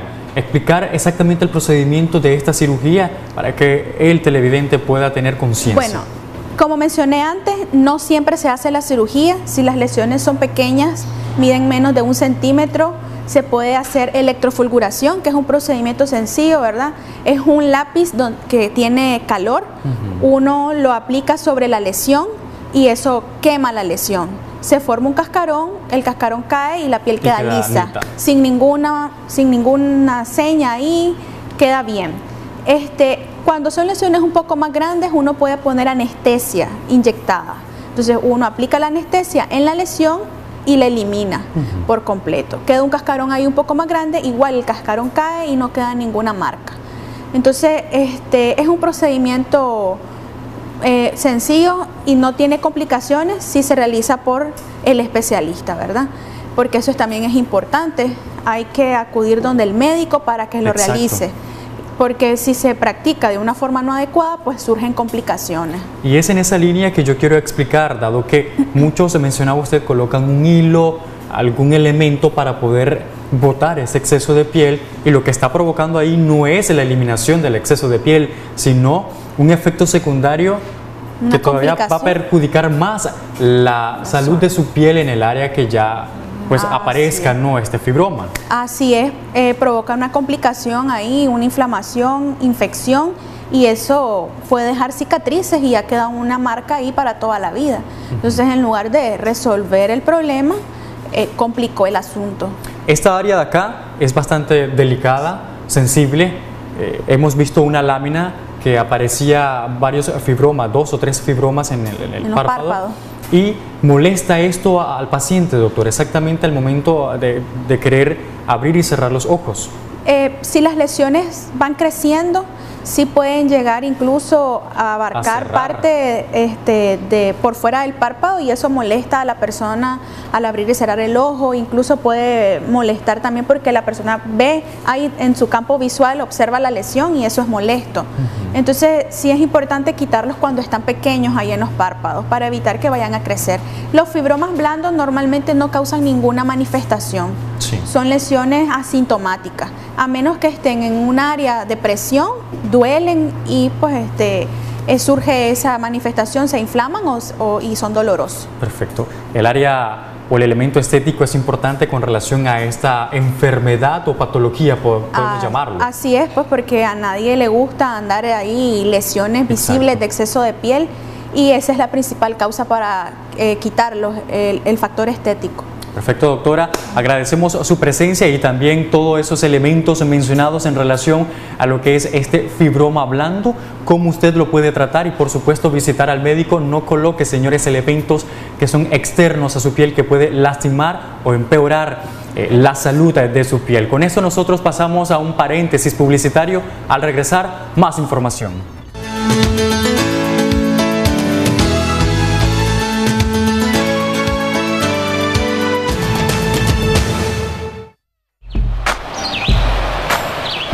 Regresamos con Acción 10 en la mañana.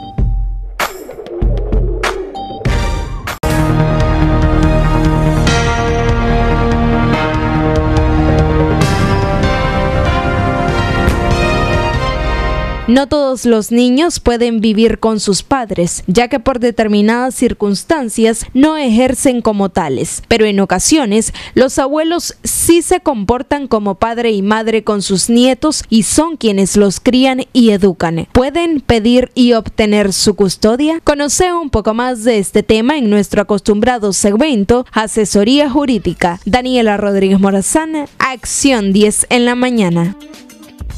Gracias Danielita por esa información, la cual ampliaremos con nuestros expertos en asesoría jurídica. Está con nosotros ya del Foro de Abogados de Nicaragua el licenciado Norman Valerio, también nos acompaña el doctor Eduardo Mejía de Sejura. Hablaremos de cómo esos abuelitos o abuelitas pueden pedir la tutela cuando los padres, es decir, sus hijos, no cumplen esa responsabilidad, ese rol que adquieren, ¿verdad? Cuando son, eh, bueno, cuando se procrean hijos e hijas. Muy buenos días a ambos, qué grato que nos pueda acompañar. Empezamos, doctor Mejía con esas eh, orientaciones jurídicas? Bien, eh, podemos tener dos tipos de casos sobre esta situación. Hay veces hay eh, jóvenes, adolescentes, ¿verdad?, que de repente pues se comprometen a traer un hijo a este mundo. Entonces, ¿quién ejerce esa que le llaman usualmente, popularmente la tutela? legalmente hablando se llama cudicrianza, lo va a ejercer esa madre o ese padre adolescente en conjunto pero quien representa a ese niño para todas las tomas de decisiones es quien esté a cargo de los adolescentes. Bien puede ser en este caso lo mismo, la misma mamá o papá de ellos, que frente a este bebé es la abuela o el abuelo. Entonces ellos pueden ejercer esa autoridad. ¿Qué es lo que sucede? Pueden ser ya personas mayores de edad que tienen hijo e hija y de repente les dan maltrato físico. Óigase bien, les dan maltrato físico esa circunstancia de darle maltrato físico, ese hecho justifica que el abuelo o la abuela que vive con ellos, o aunque no vivan con ellos, pero ellos están en condiciones con capacidad económica y capacidad física, tienen un lugar donde viven, eso les da el derecho de acudir ante el Ministerio de la Familia a poner la denuncia y el Ministerio de la Familia tiene la obligación, aunque en la práctica, verdad, hemos conocido esta denuncia de que ellos dicen, no, él es su padre, es su madre y ellos hacen lo que quieren con los niños. No es verdad. El hecho que sea el padre y la madre no les da el derecho de hacer lo que quieran con sus hijos, menos cuando se trata de que está sujeto a maltrato físico o una persona con discapacidad y esté siendo objeto de maltrato. El Ministerio de la Familia está obligado de acudir. Una vez que acude, la ley le obliga a que ellos como lo va a cobijar, lo van a parar a ese niño o niña o adolescente o persona con discapacidad.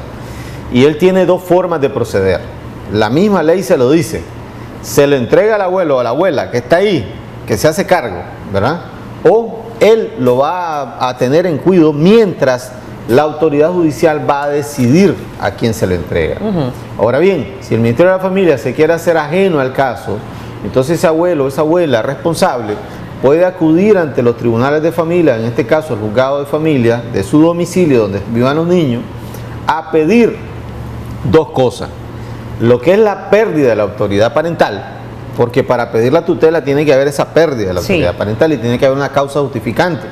Y la solicitud de la tutela. En ambas solicitudes hay un elemento común. El elemento común es que el niño está siendo sujeto a maltrato físico. Y esa condición justifica para que el padre o la madre que está irresponsable le quiten, ¿verdad? Esa autoridad parental que se le dice, ¿verdad? Legalmente hablando, y le otorguen la tutela, que es el cuidado y crianza, para ese niño o niña o adolescente o persona con discapacidad a favor del abuelo y la abuela.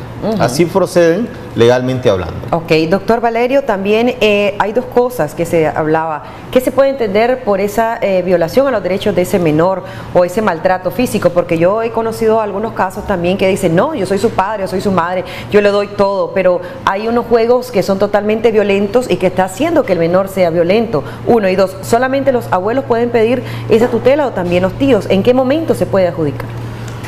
Bueno, hablando en esos términos, eh, nuestro Código Civil, el tomo 1, establece en, el artículo, exactamente el artículo 269, en el inciso numeral 4, en el inciso número 4, establece cuando los padres irresponsables abandonan a sus hijos. Eso es uno de los derechos fundamentales de todo niño, la vulnerabilidad, de ellos. Establece eso.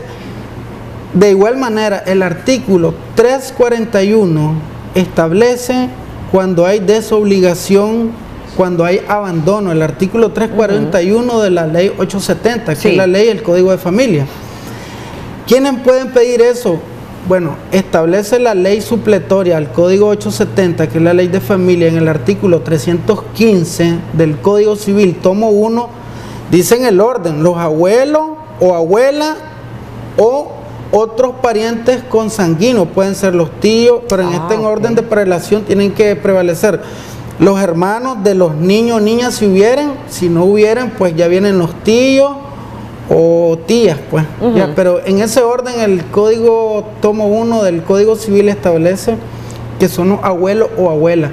De igual manera, viene a recoger ese artículo, el artículo 341 de la ley 870 que dice en el orden, abuelos o abuelas, ese es el orden que pueden pedir la tutela previo la pérdida o suspensión de conformidad al artículo 294 y 295 Ok. del Código de Familia. Tenemos una llamada en espera. Muy buenos días. Adelante, le escuchamos.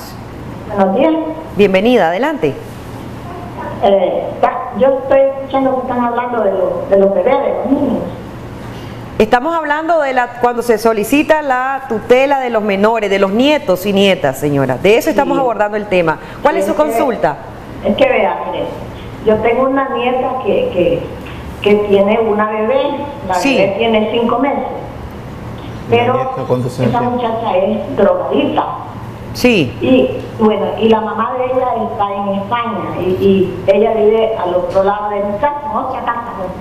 Pero la niña la deja solita, ella se va a drogarse, a beber o a qué, no sé, y deja solitita a la niña o a veces la deja con cualquier persona de hombre, que- con cualquier persona la deja. Sí. Mi- y, y- y yo tengo dos niñas que son de, de mi hija, que yo no me, yo no hay qué hacer. A veces, por lo menos anoche, esa niña se cayó de la cama. La tuve que ir a traer yo y, y pasármela para acá a la casa. Es decir, usted está cuidando de dos nietas. Dos. ¿Qué edad tienen esas nietas? Una tiene, una, una tiene ocho y la otra tiene seis. ¿Y esas niñas son de su hija que está en España o de otro hijo? No, de mi hija. ¿De la misma De hija que está en España? Sí, sí. Ok, y la muchacha que es su, su tercera nieta, sí. que es la que tiene su bisnieta, sería aquí en este caso, es la que está descuidando a esa menor, ¿verdad? Sí, exacto. Usted sí. tendría, usted tendría eh, eh, la- el, el poder adquisitivo económico para poder eh, adoptar a esta menor o, o solicitar la tutela. Este, a su bisnieta sería en este caso. Yo más, más quisiera que, que, que a ella la metan a un centro que la metan presa, porque mire, a ella, ella va a medianoche, deja solita ¿Y a la niña? Y, y la niña buscar, pues, porque mi hija paga quien, quien me ayude, aquí a mí. Y ahí hacerme cargo yo de la niña también y buscar que, que la muchacha que la cuide, la Déjenos, déjenos los datos de usted para dárselo a nuestros expertos, a ver en qué le pueden también orientar y consultar. No contempla el código de, la, de los bisnietos, están los tataranietos también. Eh, Entonces, ¿qué se puede hacer en este caso, doctor? La línea consanguínea es lo que dice la ley, y hasta cuarto grado de, de consanguinidad. La abuela, aunque es ascendente, no es descendente, está dentro de la línea consanguínea. Entonces sí le autoriza solicitarle. Ujú. De hecho, esa situación de que ella se droga, ella puede acudir a la Procuraduría de la Familia o al Ministerio de la Familia del domicilio que le corresponde a poner esa denuncia sobre esa situación de, de riesgo en el que se encuentra. Ya, no, ya eso no es ni maltrato, es riesgo en la que Sí. está el niño. Y eh, ahora el Código de la Familia manda a establecer un consejo multidisciplinario. Cuando hay alguien así que se droga, el consejo tiene que inmediatamente ir a, a revisar, verificar, confirmar, porque también de repente puede ser cierto, puede ser mentira. Sí. Entonces tiene que verificarse. Y es ahí donde ponía el ejemplo que el Ministerio de la Familia acude y tiene dos opciones. En este caso se lo da a la bisabuela o se lo entrega, en, en- en este caso lo mantiene el Ministerio de la Familia. Pero hay un elemento jurídico importante. El hijo, el niño o niña tiene un padre y una madre. Aquí se habló solo de la madre. Desconocemos, pero en orden de prelación va a tener prioridad el padre. Sí. En tanto muestre, ¿verdad? También las condiciones y la capacidad. Ahora, es una niña. Sí. La, el uso y costumbre y la jurisprudencia Usualmente las niñas no son con facilidad entregadas a los padres, sobre todo cuando no están arriba de los años de 5 o 6 años. Entonces ahí siempre la abuelita lleva ese punto de ventaja. Ok, tenemos otra llamadita en espera. Muy buenos días. Sí. Buenos días, caballero, ¿le escuchamos? Sí, buenos días. Buenos días. Este, me, me, me consulta. Bájele el volumen al televisor, por favor, y nos escucha a través de la bocina de su teléfono. Con gusto le vamos a escuchar la consulta que nos va a hacer. Adelante. Oh. O- ok. Sí, buenos días. Aló, buenos días. La consulta, señor, bájele el volumen al televisor, le estamos pidiendo, por favor. Sí. Adelante. Sí, me, me, me consulta la siguiente. Me consulta la siguiente. Mire, eh, yo, yo, procre- yo, yo procreé cuatro hijos con, con mi expareja, ¿verdad? Este, yo le estaba pasando una pensión de 3.500 córdobas mensuales. Sí. Eh, ella pues, a raíz del problema que hubo aquí en Nicaragua, este, ella pues decidió irse a otro país, a Costa Rica. Sí. Y entonces por eso es que yo, ella pues habló conmigo, ella tiene su pareja actual, pero ella habló conmigo primero, de que, de que cómo íbamos a ser conocidos, yo le dije a ella, como yo le dejé la casa, yo la dejé en mi casa, pues están ellos allí, yo ahorita ando alquilando, y por eso- y- entonces que yo le dije a ella pues que los niños quedaran en la casa, ¿verdad? Y lo que sucedió es de que ella se fue y yo no me di cuenta y sacó a, a mi niña, una niña de, de 12 años la sacó de la casa y la mandó a otro lado largo, pues, de, de unos familiares de ella. Y dejó solo a los varones y al y a la pareja de él, pues, dentro de mi casa, ¿me entiendes? Entonces, yo ahí le dije que no podía hacer eso porque quien tenía que salir era el marido, el, el- la pareja de él y dejar a mis hijos en su casa, ¿verdad? Eh, ¿Y con quién se iban a quedar sus hijos en esa casa? eh, y eh, con, ahí era con, con un hijo mayor mío que tiene 22 años, que, tiene- que está casado él, ¿me entiendes? Ajá.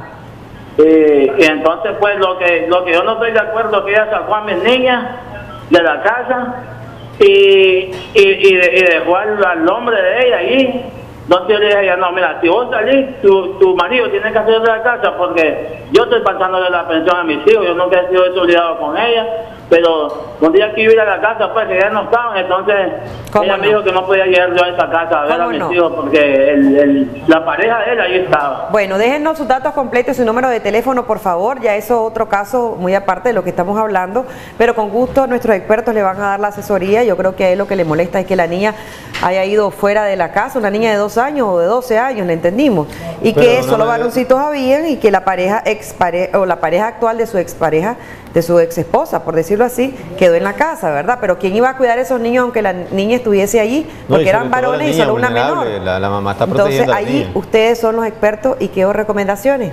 La recomendación directa es que él vaya a la vía judicial a hacer el reclamo de su derecho, porque nada gana estar diciendo o hablando por todos lados o quejándose, que acuda a la vía judicial a hacer uso de su Y derecho. él tendría que hacerse caso, cargo de los niños. Sí, él tiene que pedir en este caso, porque como está ausente la otra, y ese es el término que usa la ley, cuando está ausente uno de los padres, el otro puede pedir lo que es el- el- la representación legal exclusiva. Sí. Y en este caso se le daría a él de los tres menores, porque hay uno mayor. Sí, porque no sabemos Y si la pareja actual de su ex esposa es el que se iba a hacer cargo de los niños, porque el rol era de él, ¿verdad? Así y esa casa, si hay alguna sentencia, alguna figura jurídica, existe el por qué lo dejaron a él ahí. Bueno, recomendaciones para aquellas personas que en estos momentos nos están sintonizando y que están solicitando, eh, doctores, esa tutela de, de los nietos, de las nietas. Eh, ya explicaban ustedes un poco que eh, debe ser cuando uno de los padres o el padre, que en este caso Abandonado. está a cargo de los menores, los deja abandonado o se dedica a la droga, Desamparo. alguna actividad ilícita. Eh, por el hecho de estar desempleados, también el abuelo o los abuelos pueden pedir la tutela de esos menores. Eh, no, no, no, eso no es causal para pedir eso, porque el No. artículo 96 del Código de Familia establece que aunque haya suspensión o pérdida de la autoridad parental, ellos están obligados siempre a cumplir con eso. Ok, excelente. Una recomendación directa es que, así como la señora que llamó, que no recuerdo el nombre, no sé si lo dijo, No, no, no lo dice. es que eh, por el interés superior de ese niño o niña, no esperen agotar la gestión con ninguna autoridad. Cuando estén en un inminente peligro, actúen. Así como dijo ella, la muchacha se va, la niña se queda ahí llorando. Una niña de esos cinco meses, un golpecito en la cabeza le puede representar una lesión para toda la vida. Sí.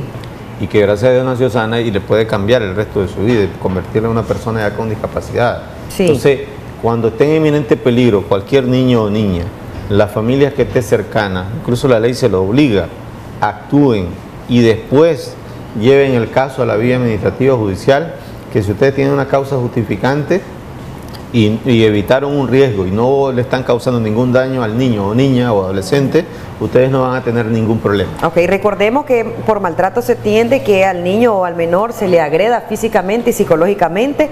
Los juegos, me preguntaba alguien, los juegos con los menores que los está haciendo agresivos también es parte de una violencia. Por Sí, ejemplo, la- con los varoncitos, las mamás o el papá o los tíos dicen, vas a jugar así, vas a golpear y que te le vas a dar en la cara a alguien. Eso es agresión también Está ejerciendo una violencia indirecta y los está lesionando de manera psicológicamente, o sea, los está exponiendo a un daño, puede ser físico o psicológico. La ley Mandy establece la obligación, dentro de la responsabilidad ¿verdad? de la autoridad parental, a una adecuada formación y educación, ¿verdad? Y si eso le está causando, dice, un trauma de futuro, perfectamente también se puede reaccionar. Como no, doctores, muchísimas gracias por habernos acompañado de Sejura, Gracias. ¿verdad? El doctor Eduardo Mejía y también del Foro de Abogados de Nicaragua, el doctor Norman Valerio. Ah, vamos a una pausa en este momento, enseguida regresamos con debates y soluciones.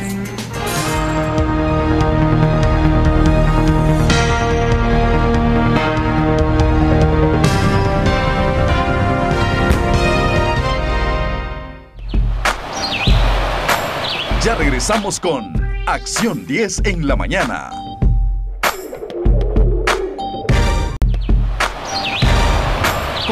Continuamos con Acción 10 en la mañana.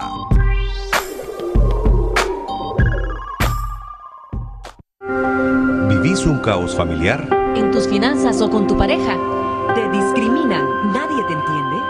¿Tenés alguna denuncia o problema al que nadie da respuesta? Queremos ayudarte en nuestro segmento Debates y Soluciones.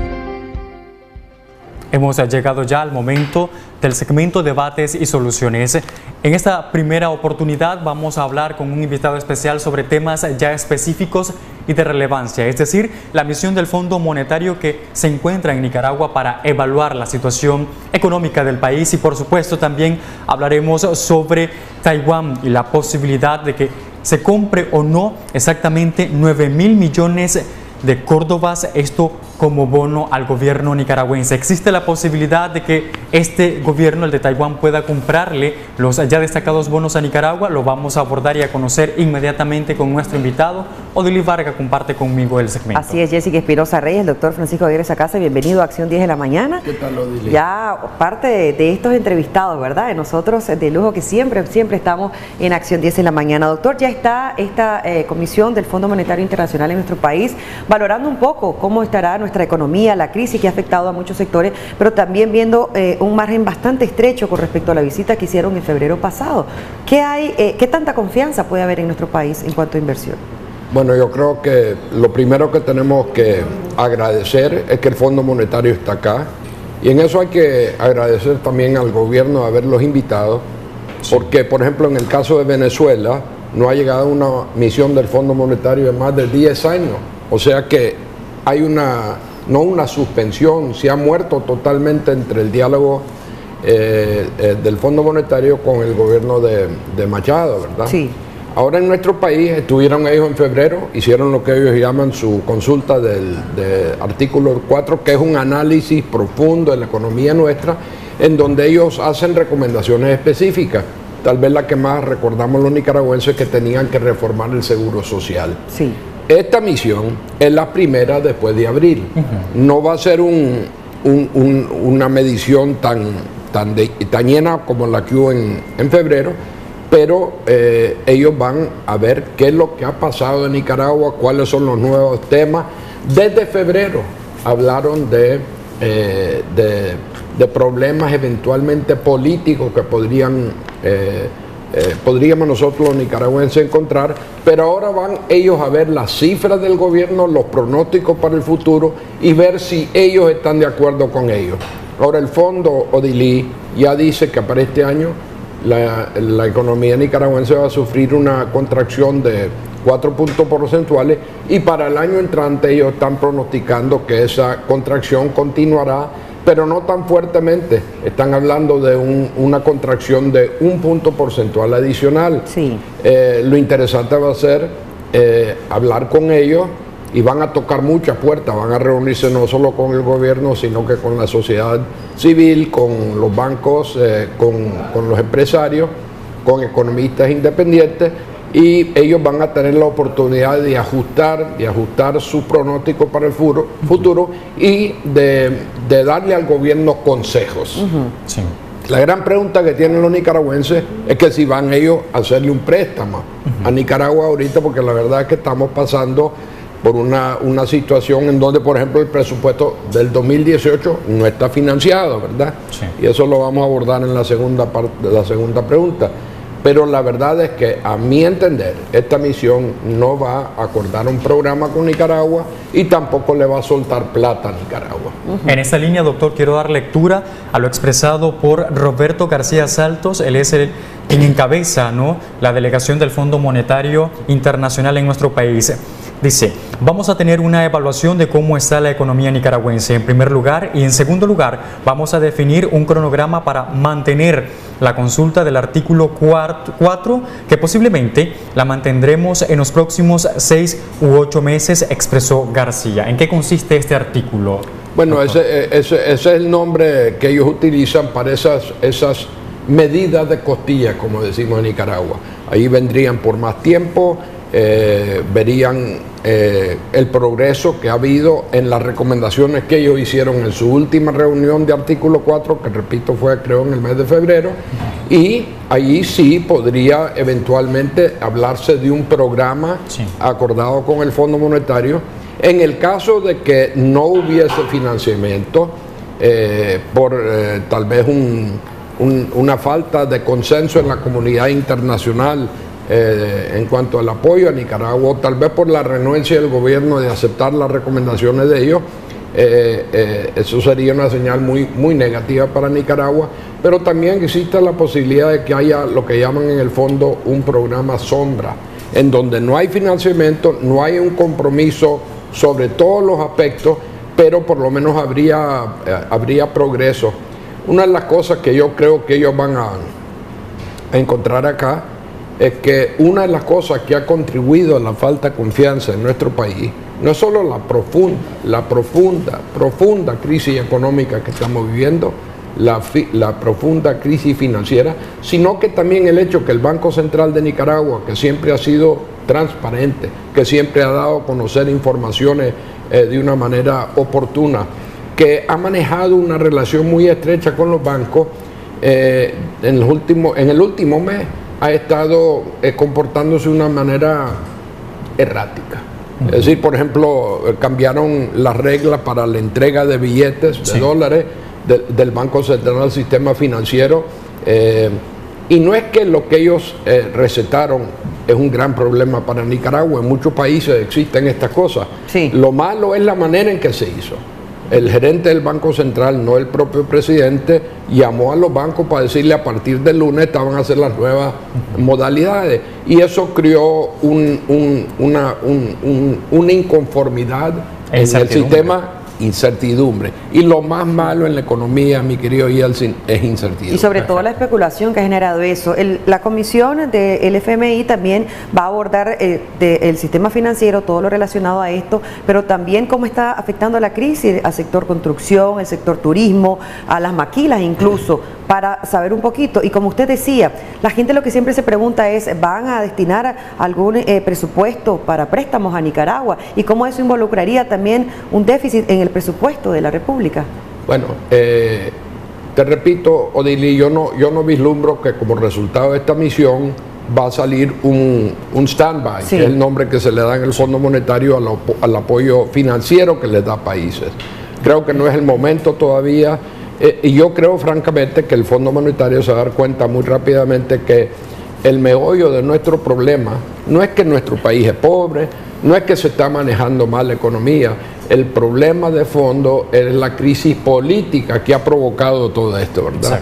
Entonces, para mí, para mí, eh, el mensaje que yo le transmitiría al Fondo Monetario es que si no se llega a un arreglo político que incluye una transición política hacia un gobierno democrático, difícilmente se van a dar las condiciones en nuestro país para eh, crecer otra vez.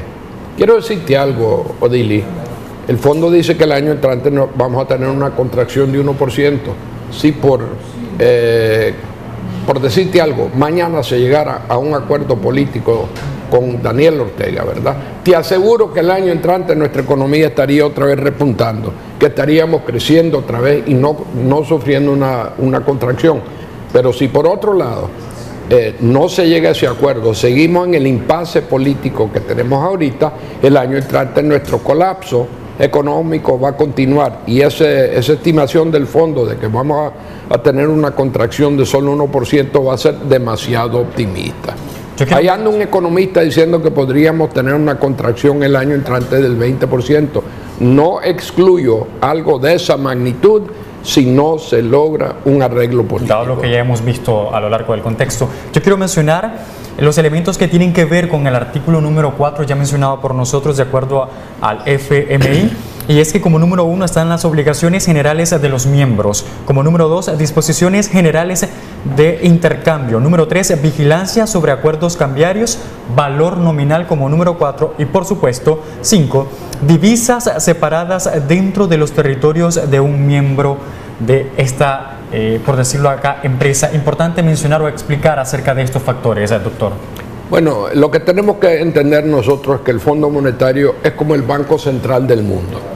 Entonces ellos se preocupan por esos parámetros que, eh, que son importantes, pero eh, eh, en esta misión los temas más importantes es el comportamiento de la economía, que incluye naturalmente, por ejemplo, la situación de reservas del país, pero van a entrar en elementos más fundamentales, qué es lo que está contribuyendo a eh, la crisis económica que está viviendo el país, qué se puede corregir y cómo. Por eso es que la, última misión que estuvo acá enfocó el tema del INS. No se logró nada en el INS, porque incluso los cambios que propuso el gobierno y que dijo que los había impuesto el Fondo Monetario no respondían realmente a la receta del Fondo Monetario. Eh, y lo, que sabemos ahorita es que el INS eh, no se ha compuesto, que sus problemas se van profundizando y ahora hay retirados, jubilados, pues que están preguntándose si van a recibir, por ejemplo, su aguinaldo con el INSE este año. Y la verdad es que si no hay transferencia del gobierno al INSE en este momento, el INSE va a entrar en esa cada vez más amplia lista de instituciones financieras del país que están teniendo serios problemas eh, de liquidez, serios problemas de liquidez. En algunas de las entrevistas y reuniones que han tenido también eh, la misión del FMI, su jefe, el señor Roberto García, hablaba un poco también que acompañado a, ese artículo 4, eh, pudiesen estarle dando un acompañamiento, se decía, a Nicaragua de entre 5 y 6 meses. ¿De qué se trataría ese acompañamiento? Bueno, yo creo que estamos hablando de asistencia técnica, lo que yo te llamé un programa sombra, en donde está el Fondo Monetario no desembolsando plata, pero en un diálogo continuo con las autoridades, eh, estableciendo metas, comparando notas, eh, una relación más fluida pues, entre, entre el equipo económico de Nicaragua, que repito, tiene los conocimientos técnicos como para sacar adelante nuestra economía, pero no son ellos los que están eh, a cargo de resolver la crisis política, que es la que está creando el malestar acá. Sí. sí. Doctor, por otro lado, el gobierno considera que una de las soluciones a, la crisis es, por supuesto, la compra de los bonos eh, de ese mismo. Taiwán se perfila o se ha dicho como uno de los países o naciones que pueda comprar exactamente, son 9 mil millones de córdobas lo que necesita, le compre o lo que prevé compre Taiwán a Nicaragua, al gobierno de Nicaragua en bonos. Bueno, y además de eso, en el presupuesto para el año 2019 hay un desfinanciamiento de 12 mil millones de Córdoba. Entonces el Estado eh, ha dicho que eso lo va a cubrir de nuevo con la emisión de bonos eh, del, Estado de Nicaragua que ellos pretenden vender pues a, compradores pues en el sector privado, nacional o internacional. ¿Qué tan factible es esta situación de los bonos? honestamente, yo creo que es risible creer que nuestro país vaya a poder eh, conseguir tanta plata. Ya no es ni siquiera un tema de, de tasa de interés. Por ejemplo, alguien, alguien me contó ayer, que, y te estoy hablando de un cliente triple A, ¿verdad? De un, de un banco nicaragüense que tiene hasta certificado de depósito con ese banco y que necesitaba un préstamo de un millón de dólares para capital de trabajo. Y el banco de él le dijo perfectamente, te lo damos, eh, contra, usando como prenda tu certificado de depósito, pero al 18%. Al 18%. Ahora imagínate vos la tasa de interés que tendría que ofrecer Nicaragua sobre esos bonos para que eh, entidades privadas o públicas accedan a un préstamo. A comprarlo. Y aunque ofreciera el 25 o el 30%, ¿cuáles son las posibilidades de que Nicaragua eh, pague eso?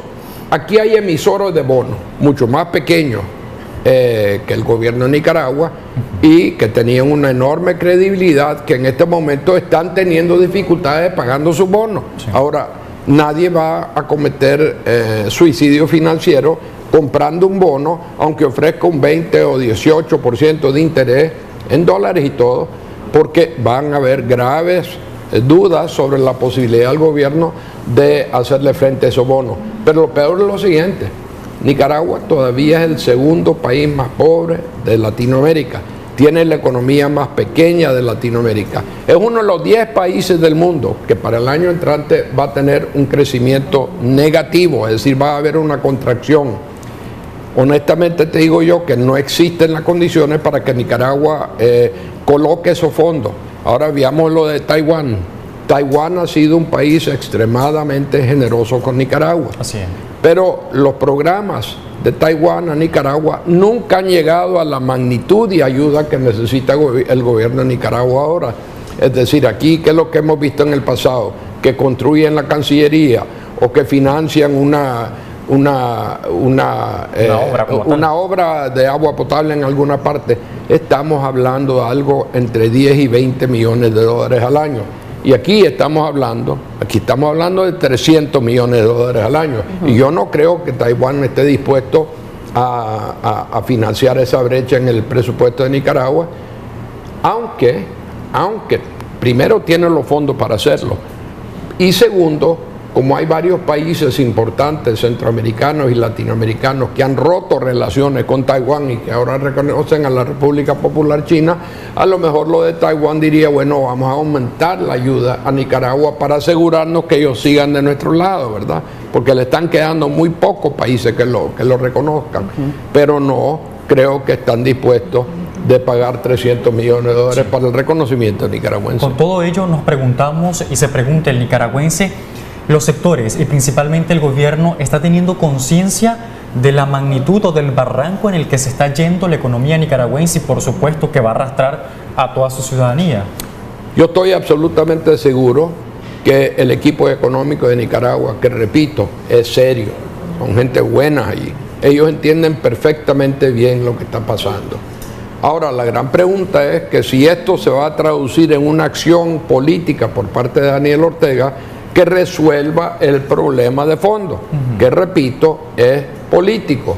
Eh, ¿Y cuáles son las dimensiones del problema? Eh, la sublevación cívica de abril, la muerte de 528 nicaragüenses, eh, el hecho de que hayan 3.000 que hayan sido heridos, ahora están hablando de 500 detenidos, la represión que continúa y ahora, si querés añadirle uno, un problema más, la pugna entre el gobierno y la conferencia episcopal y, y sobre todo con el monseñor Silvio Báez. En cuanto a las reuniones del FMI, también ellos explicaban un poco sobre ese crecimiento de la economía en el país que hasta desde el 2010 a la fecha venía creciendo en un 4%. Y ellos dicen que no volverá a, repuntar en ese, en ese número. Pero también decía que la crisis aunque eh, se llegara a resolver en el nombre de Dios, ¿verdad? En estos meses, va a ir creciendo paulatinamente. Va a ser un poco difícil recuperar esa economía que se tenía. En eso no estoy de acuerdo yo. Yo creo que si nosotros llegáramos a un entendimiento serio, serio, con el gobierno, eh, yo por lo menos, sí. estaría dispuesto a invertir en mi país. Yo por lo menos. Y como yo, creo que hay muchísimas otras personas que lo harían. ¿Y qué es lo que va a estar viendo el, el inversionista extranjero? ¿Está invirtiendo el nacional o no? Porque cuando el propio nacional no tiene confianza en su propio país, mucho menos va a tener el, el extranjero. Repito una frase que yo he usado en este programa en otras ocasiones. Nicaragua es un país empobrecido y no pobre. El sector turístico nuestro podría levantarse rápidamente. Por ejemplo, eh, el sistema financiero también. Porque ¿qué es lo que está causando la fuga de depósitos? Que ya es igual al 10% del Producto Interno Bruto de Nicaragua. La falta de confianza en Nicaragua. Aquí la gente lo que anda buscando, pues aquellos que son ahorradores netos, los que tienen inversiones en el país, lo que están haciendo es viendo cómo se deshacen de eso. Entonces, eh, en el momento que se llegara a un entendimiento, yo creo que algunas personas eh, comenzarían de nuevo a invertir en Nicaragua porque el país tiene un enorme potencial. Sería valorar eso esas proyecciones, entonces. Y eso, sería, eh, eso es, esa confianza es producto del crecimiento de vanguardia que Nicaragua tuvo durante los últimos 10 años. Estamos entre los que más rápidamente estaban creciendo en la Además que la mano de obra en nuestro país es única, ¿verdad? Bueno, eh, nuestra mano de obra es excelente, pero eso nos lleva a otro aspecto negativo de lo que está pasando aquí, la fuga de capital humano. Ya hay 30 mil compatriotas nuestros que están en Costa Rica y ese número va creciendo. Y se suma el problema. Y se suma el problema. O sea que este es un círculo vicioso. Y aquí hay que, hay que cortar el, nudo gordiano, llegar a un acuerdo político y eh, eh, todo el resto se va a resolver, todo el resto. Expertos han dicho que noviembre es un mes clave para que el gobierno recapacite, se siente y haya una solución. De lo contrario, explican, eh, acá en Nicaragua vamos a estar en un caos político y económico muy perjudicial para los nicaragüenses. Van a irse concretando las proyecciones de cada uno de los organismos, igual lo que ha dicho el FMI. Gracias, doctor, por habernos acompañado. Un último comentario. Viene la época de Navidad para el comerciante nicaragüense esta es la época de bonanza. Este año, si no hay resolución a estos problemas, aquí no hay salvación, no hay, no hay, no hay manera de, recuperar en el comercio y va a ser muy pobre, muy pobre la venta de Navidad. Doctor, muy agradecido con usted, por supuesto, y lo que acaba de expresar, explicarnos un poco acerca de estos dos temas importantes, Odilí. Vamos a hacer una pausa comercial. Al regresar, la segunda parte del segmento abordando la situación que está teniendo que ver con el obispo Silvio Báez. Ya volvemos.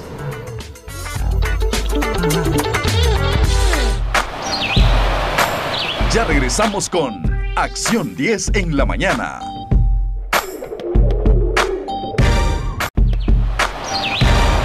Continuamos con Acción 10 en la mañana.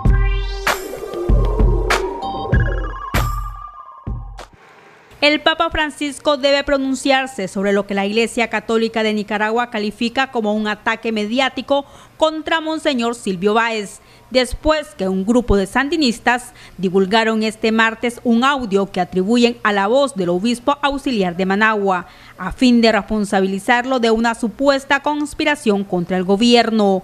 Es parte de las opiniones de personajes de nuestro país consultados sobre el tema. Lo que pasa es que aquí a los poderosos no les gusta que les digan la, verdad y sobre todo si esa verdad no está de acuerdo con su, con su pensamiento, ¿verdad? Y pretenden acallar y que, o que se callan, que nos callemos los que tenemos una opinión diferente y eso es lo que está pasando con Monseñor Báez. Él dice lo que cree, lo que piensa y no le gusta a alguna gente y por eso pues le recetan el exilio o lo o la cárcel, pero es, absurdo. Pero creo que ilustra muy bien la tragedia, el drama que estamos viviendo en Nicaragua.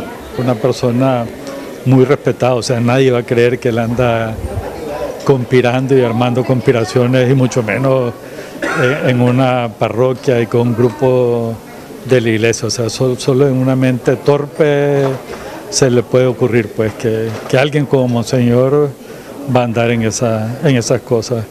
Pero sí, yo creo que la reacción del pueblo ha sido la, que esperábamos, de, cariño, de acompañamiento, y yo creo que nadie va a dejar que le hagan nada a Monseñor Báez. creo que no abona a la tranquilidad y a la paz de Nicaragua, que es lo que todos queremos.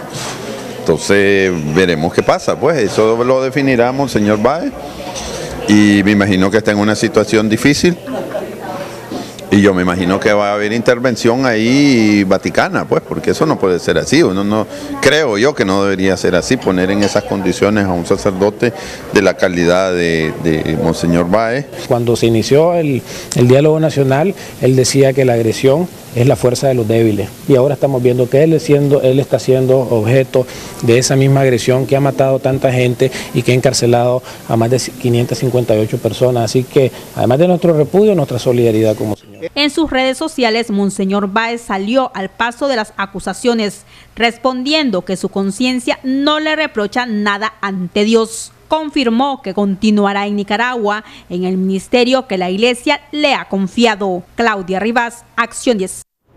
De cara a ese tema es importante recordar que una célula religiosa de la 14 de septiembre exactamente llamó o convocó a una conferencia de prensa para poder emitir o sacar a luz sobre el primer audio que emitieron, valga la redundancia de palabras, el día martes. Posterior, el día miércoles emitieron un segundo audio. Todo esto ha sido tipificado por la Iglesia Católica, ha sido tipificado por sectores eh, contrarios al gobierno como una campaña de desprestigio en contra de el obispo Silvio Báez en relación a su posición contra el gobierno y las acciones que ha ejecutado durante este contexto de una crisis política. También cabe destacar que el cardenal Leopoldo Brenes eh, al ser entrevistado y consultado sobre el tema, manifestó que tienen que analizar la situación para poder emitir un verdadero criterio de lo que sucede y lo que creen ellos es o no es este audio. Importante mencionar que un diario español también se manifestó, expresó que han pasado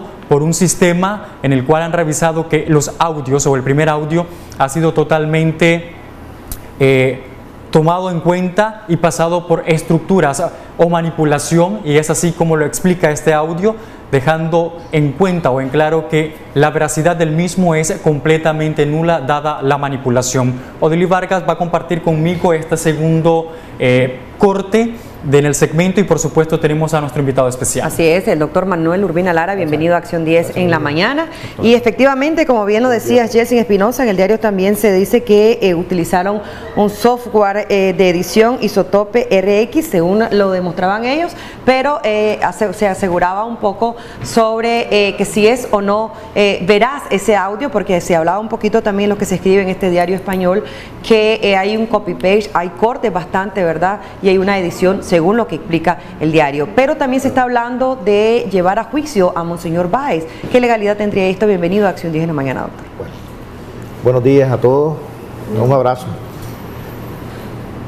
Si se está hablando de un tipo penal de tal magnitud, autoridades serias, como correspondería a la Policía Nacional, si en este caso lo fuera, le correspondería ocupar ese audio. Porque si estamos hablando de prevenir delitos es una manera de prevenirlo, ocuparlo y realizarle un peritaje. Aquí hay un laboratorio, no sé si estará en capacidad de hacer un peritaje porque lo que se utiliza ahí es un ingeniero de sonido. Pero ya hay antecedentes donde ante la incapacidad, ante la falta de tecnología en el país han recurrido a otros países. Creo que hay un caso del señor Conrado que mandaron una cinta ah, de sonido y la mandaron a Colombia a hacerle el respectivo peritaje. Nunca volvió, pues, porque había una buena relación con la justicia de parte del señor Conrado y nunca volvió, pues, nunca, nunca vino el peritaje. Pero ese, si fuera cierto eso, si fuera auténtico esa grabación, las autoridades ya deberían de tener ocupado a estos señores, haberle ocupado esa cinta, esa grabación. Porque no solamente se trata pues, de hacer un show mediático, difamar a una personalidad, a, eh, destruirla, hasta lo más profundo de su ser, y tranquilo, los tipos que, se presentan ahí, tranquilamente llevan un, audio y ya está. No, no es así. Y no es tan así, vamos a ir a los antecedentes porque nosotros nos conocemos en Nicaragua, perfectamente nos conocemos. Y esto ya se dio en los 80, y lo voy a hablar con propiedad. Este señor Valdés, que es uno de los que encabeza la difamación contra el señor Baez, lástima que no tengo tiempo para desenmascararlo. Este señor formaba parte ya de la, de la sección quinta de la seguridad del Estado y ya le hizo montaje al padre Amado Peña.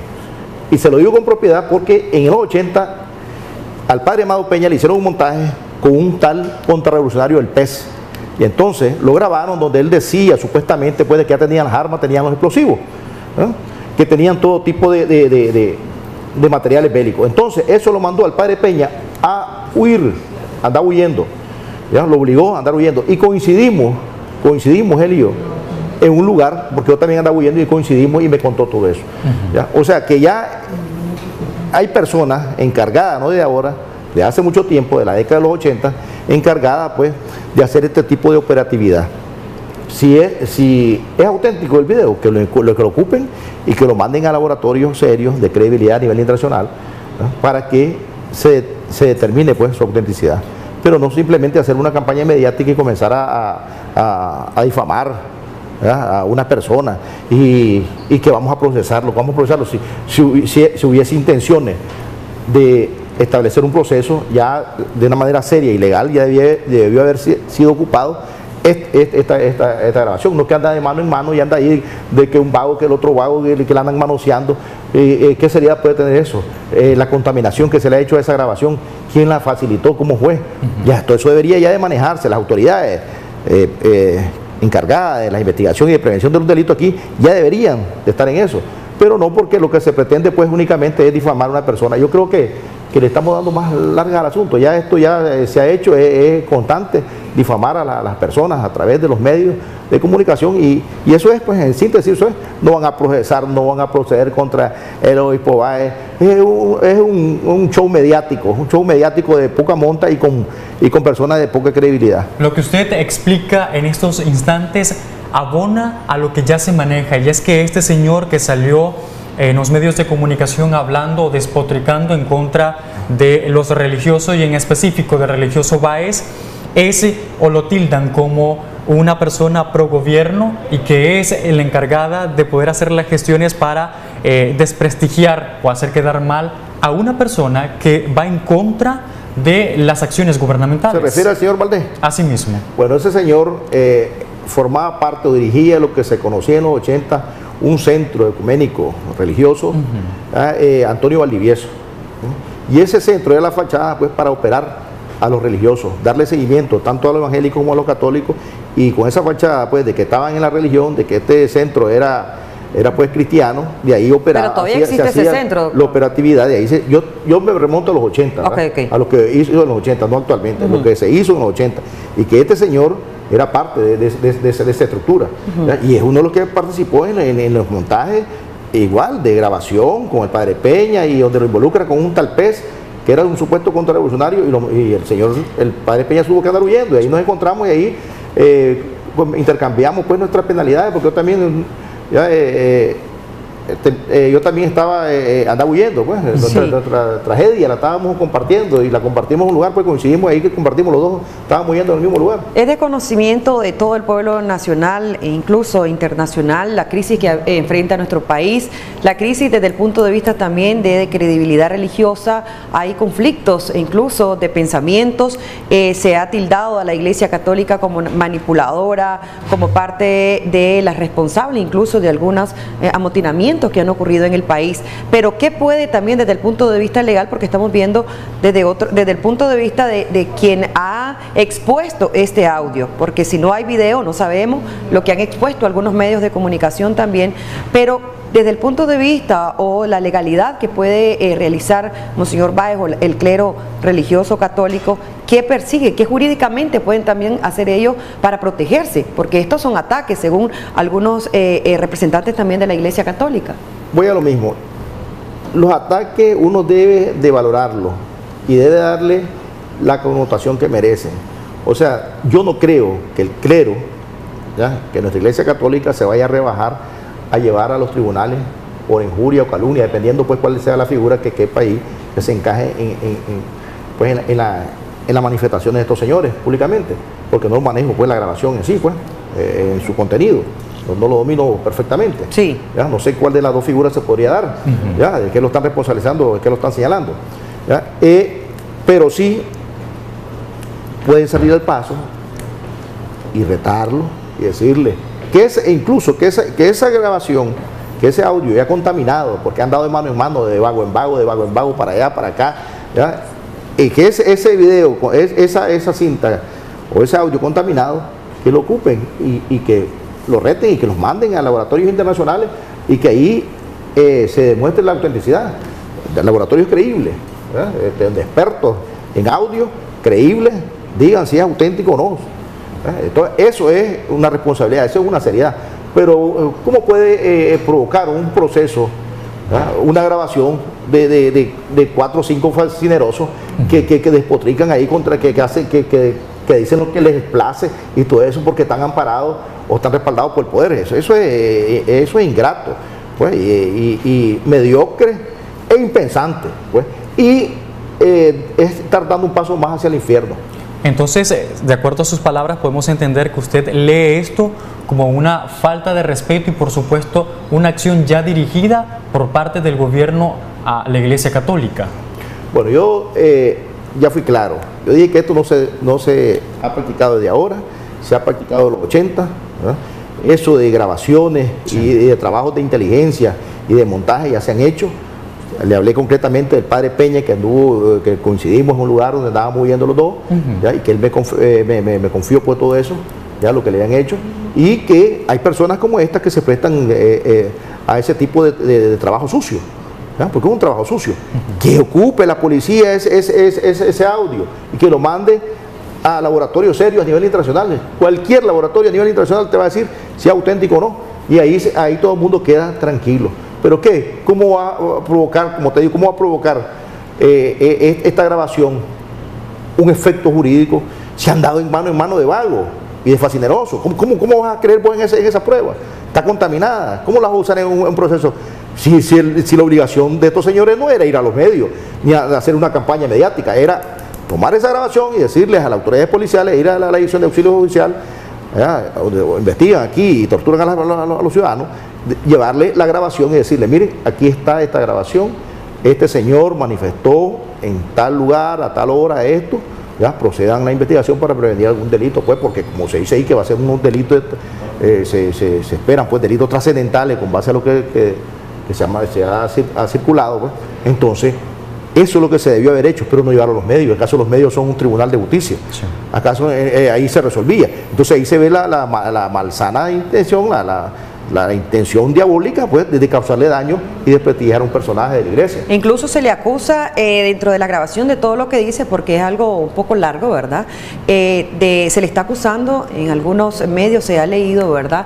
A Monseñor Báez de ser golpista, de ser eh, a- Incitador a la violencia. insti- incitador a la Sí. violencia y muchas otras cosas más. Sí, hay, hay un tipo penal que es la provocación, que es la conspiración y la, y la, eh, proposición. Porque habla, aparte de eso, supuestamente en esa grabación. Y, y- y entonces, si estamos en ese tipo penal, y este tipo penal nos refiere que si hay este eh, eh, la propuesta es para asesinar, para matar y todo eso, pues hay penas que son severas, pues entonces con mucha más razón esto de- debería dársele pues un cauce meramente serio dentro del campo de las investigaciones judiciales, eh, este, policiales, pero no se da. O sea, yo creo que eh, lo andan ahí, ahora lo andan por, por, por, por Chinandega, andan en la, la- la grabación, andan ahí, la andan paseando ahí de mano en mano, eso no es, no es- no es serio, eso es, eso es vagancia, o sea, en otros términos eso es vagancia.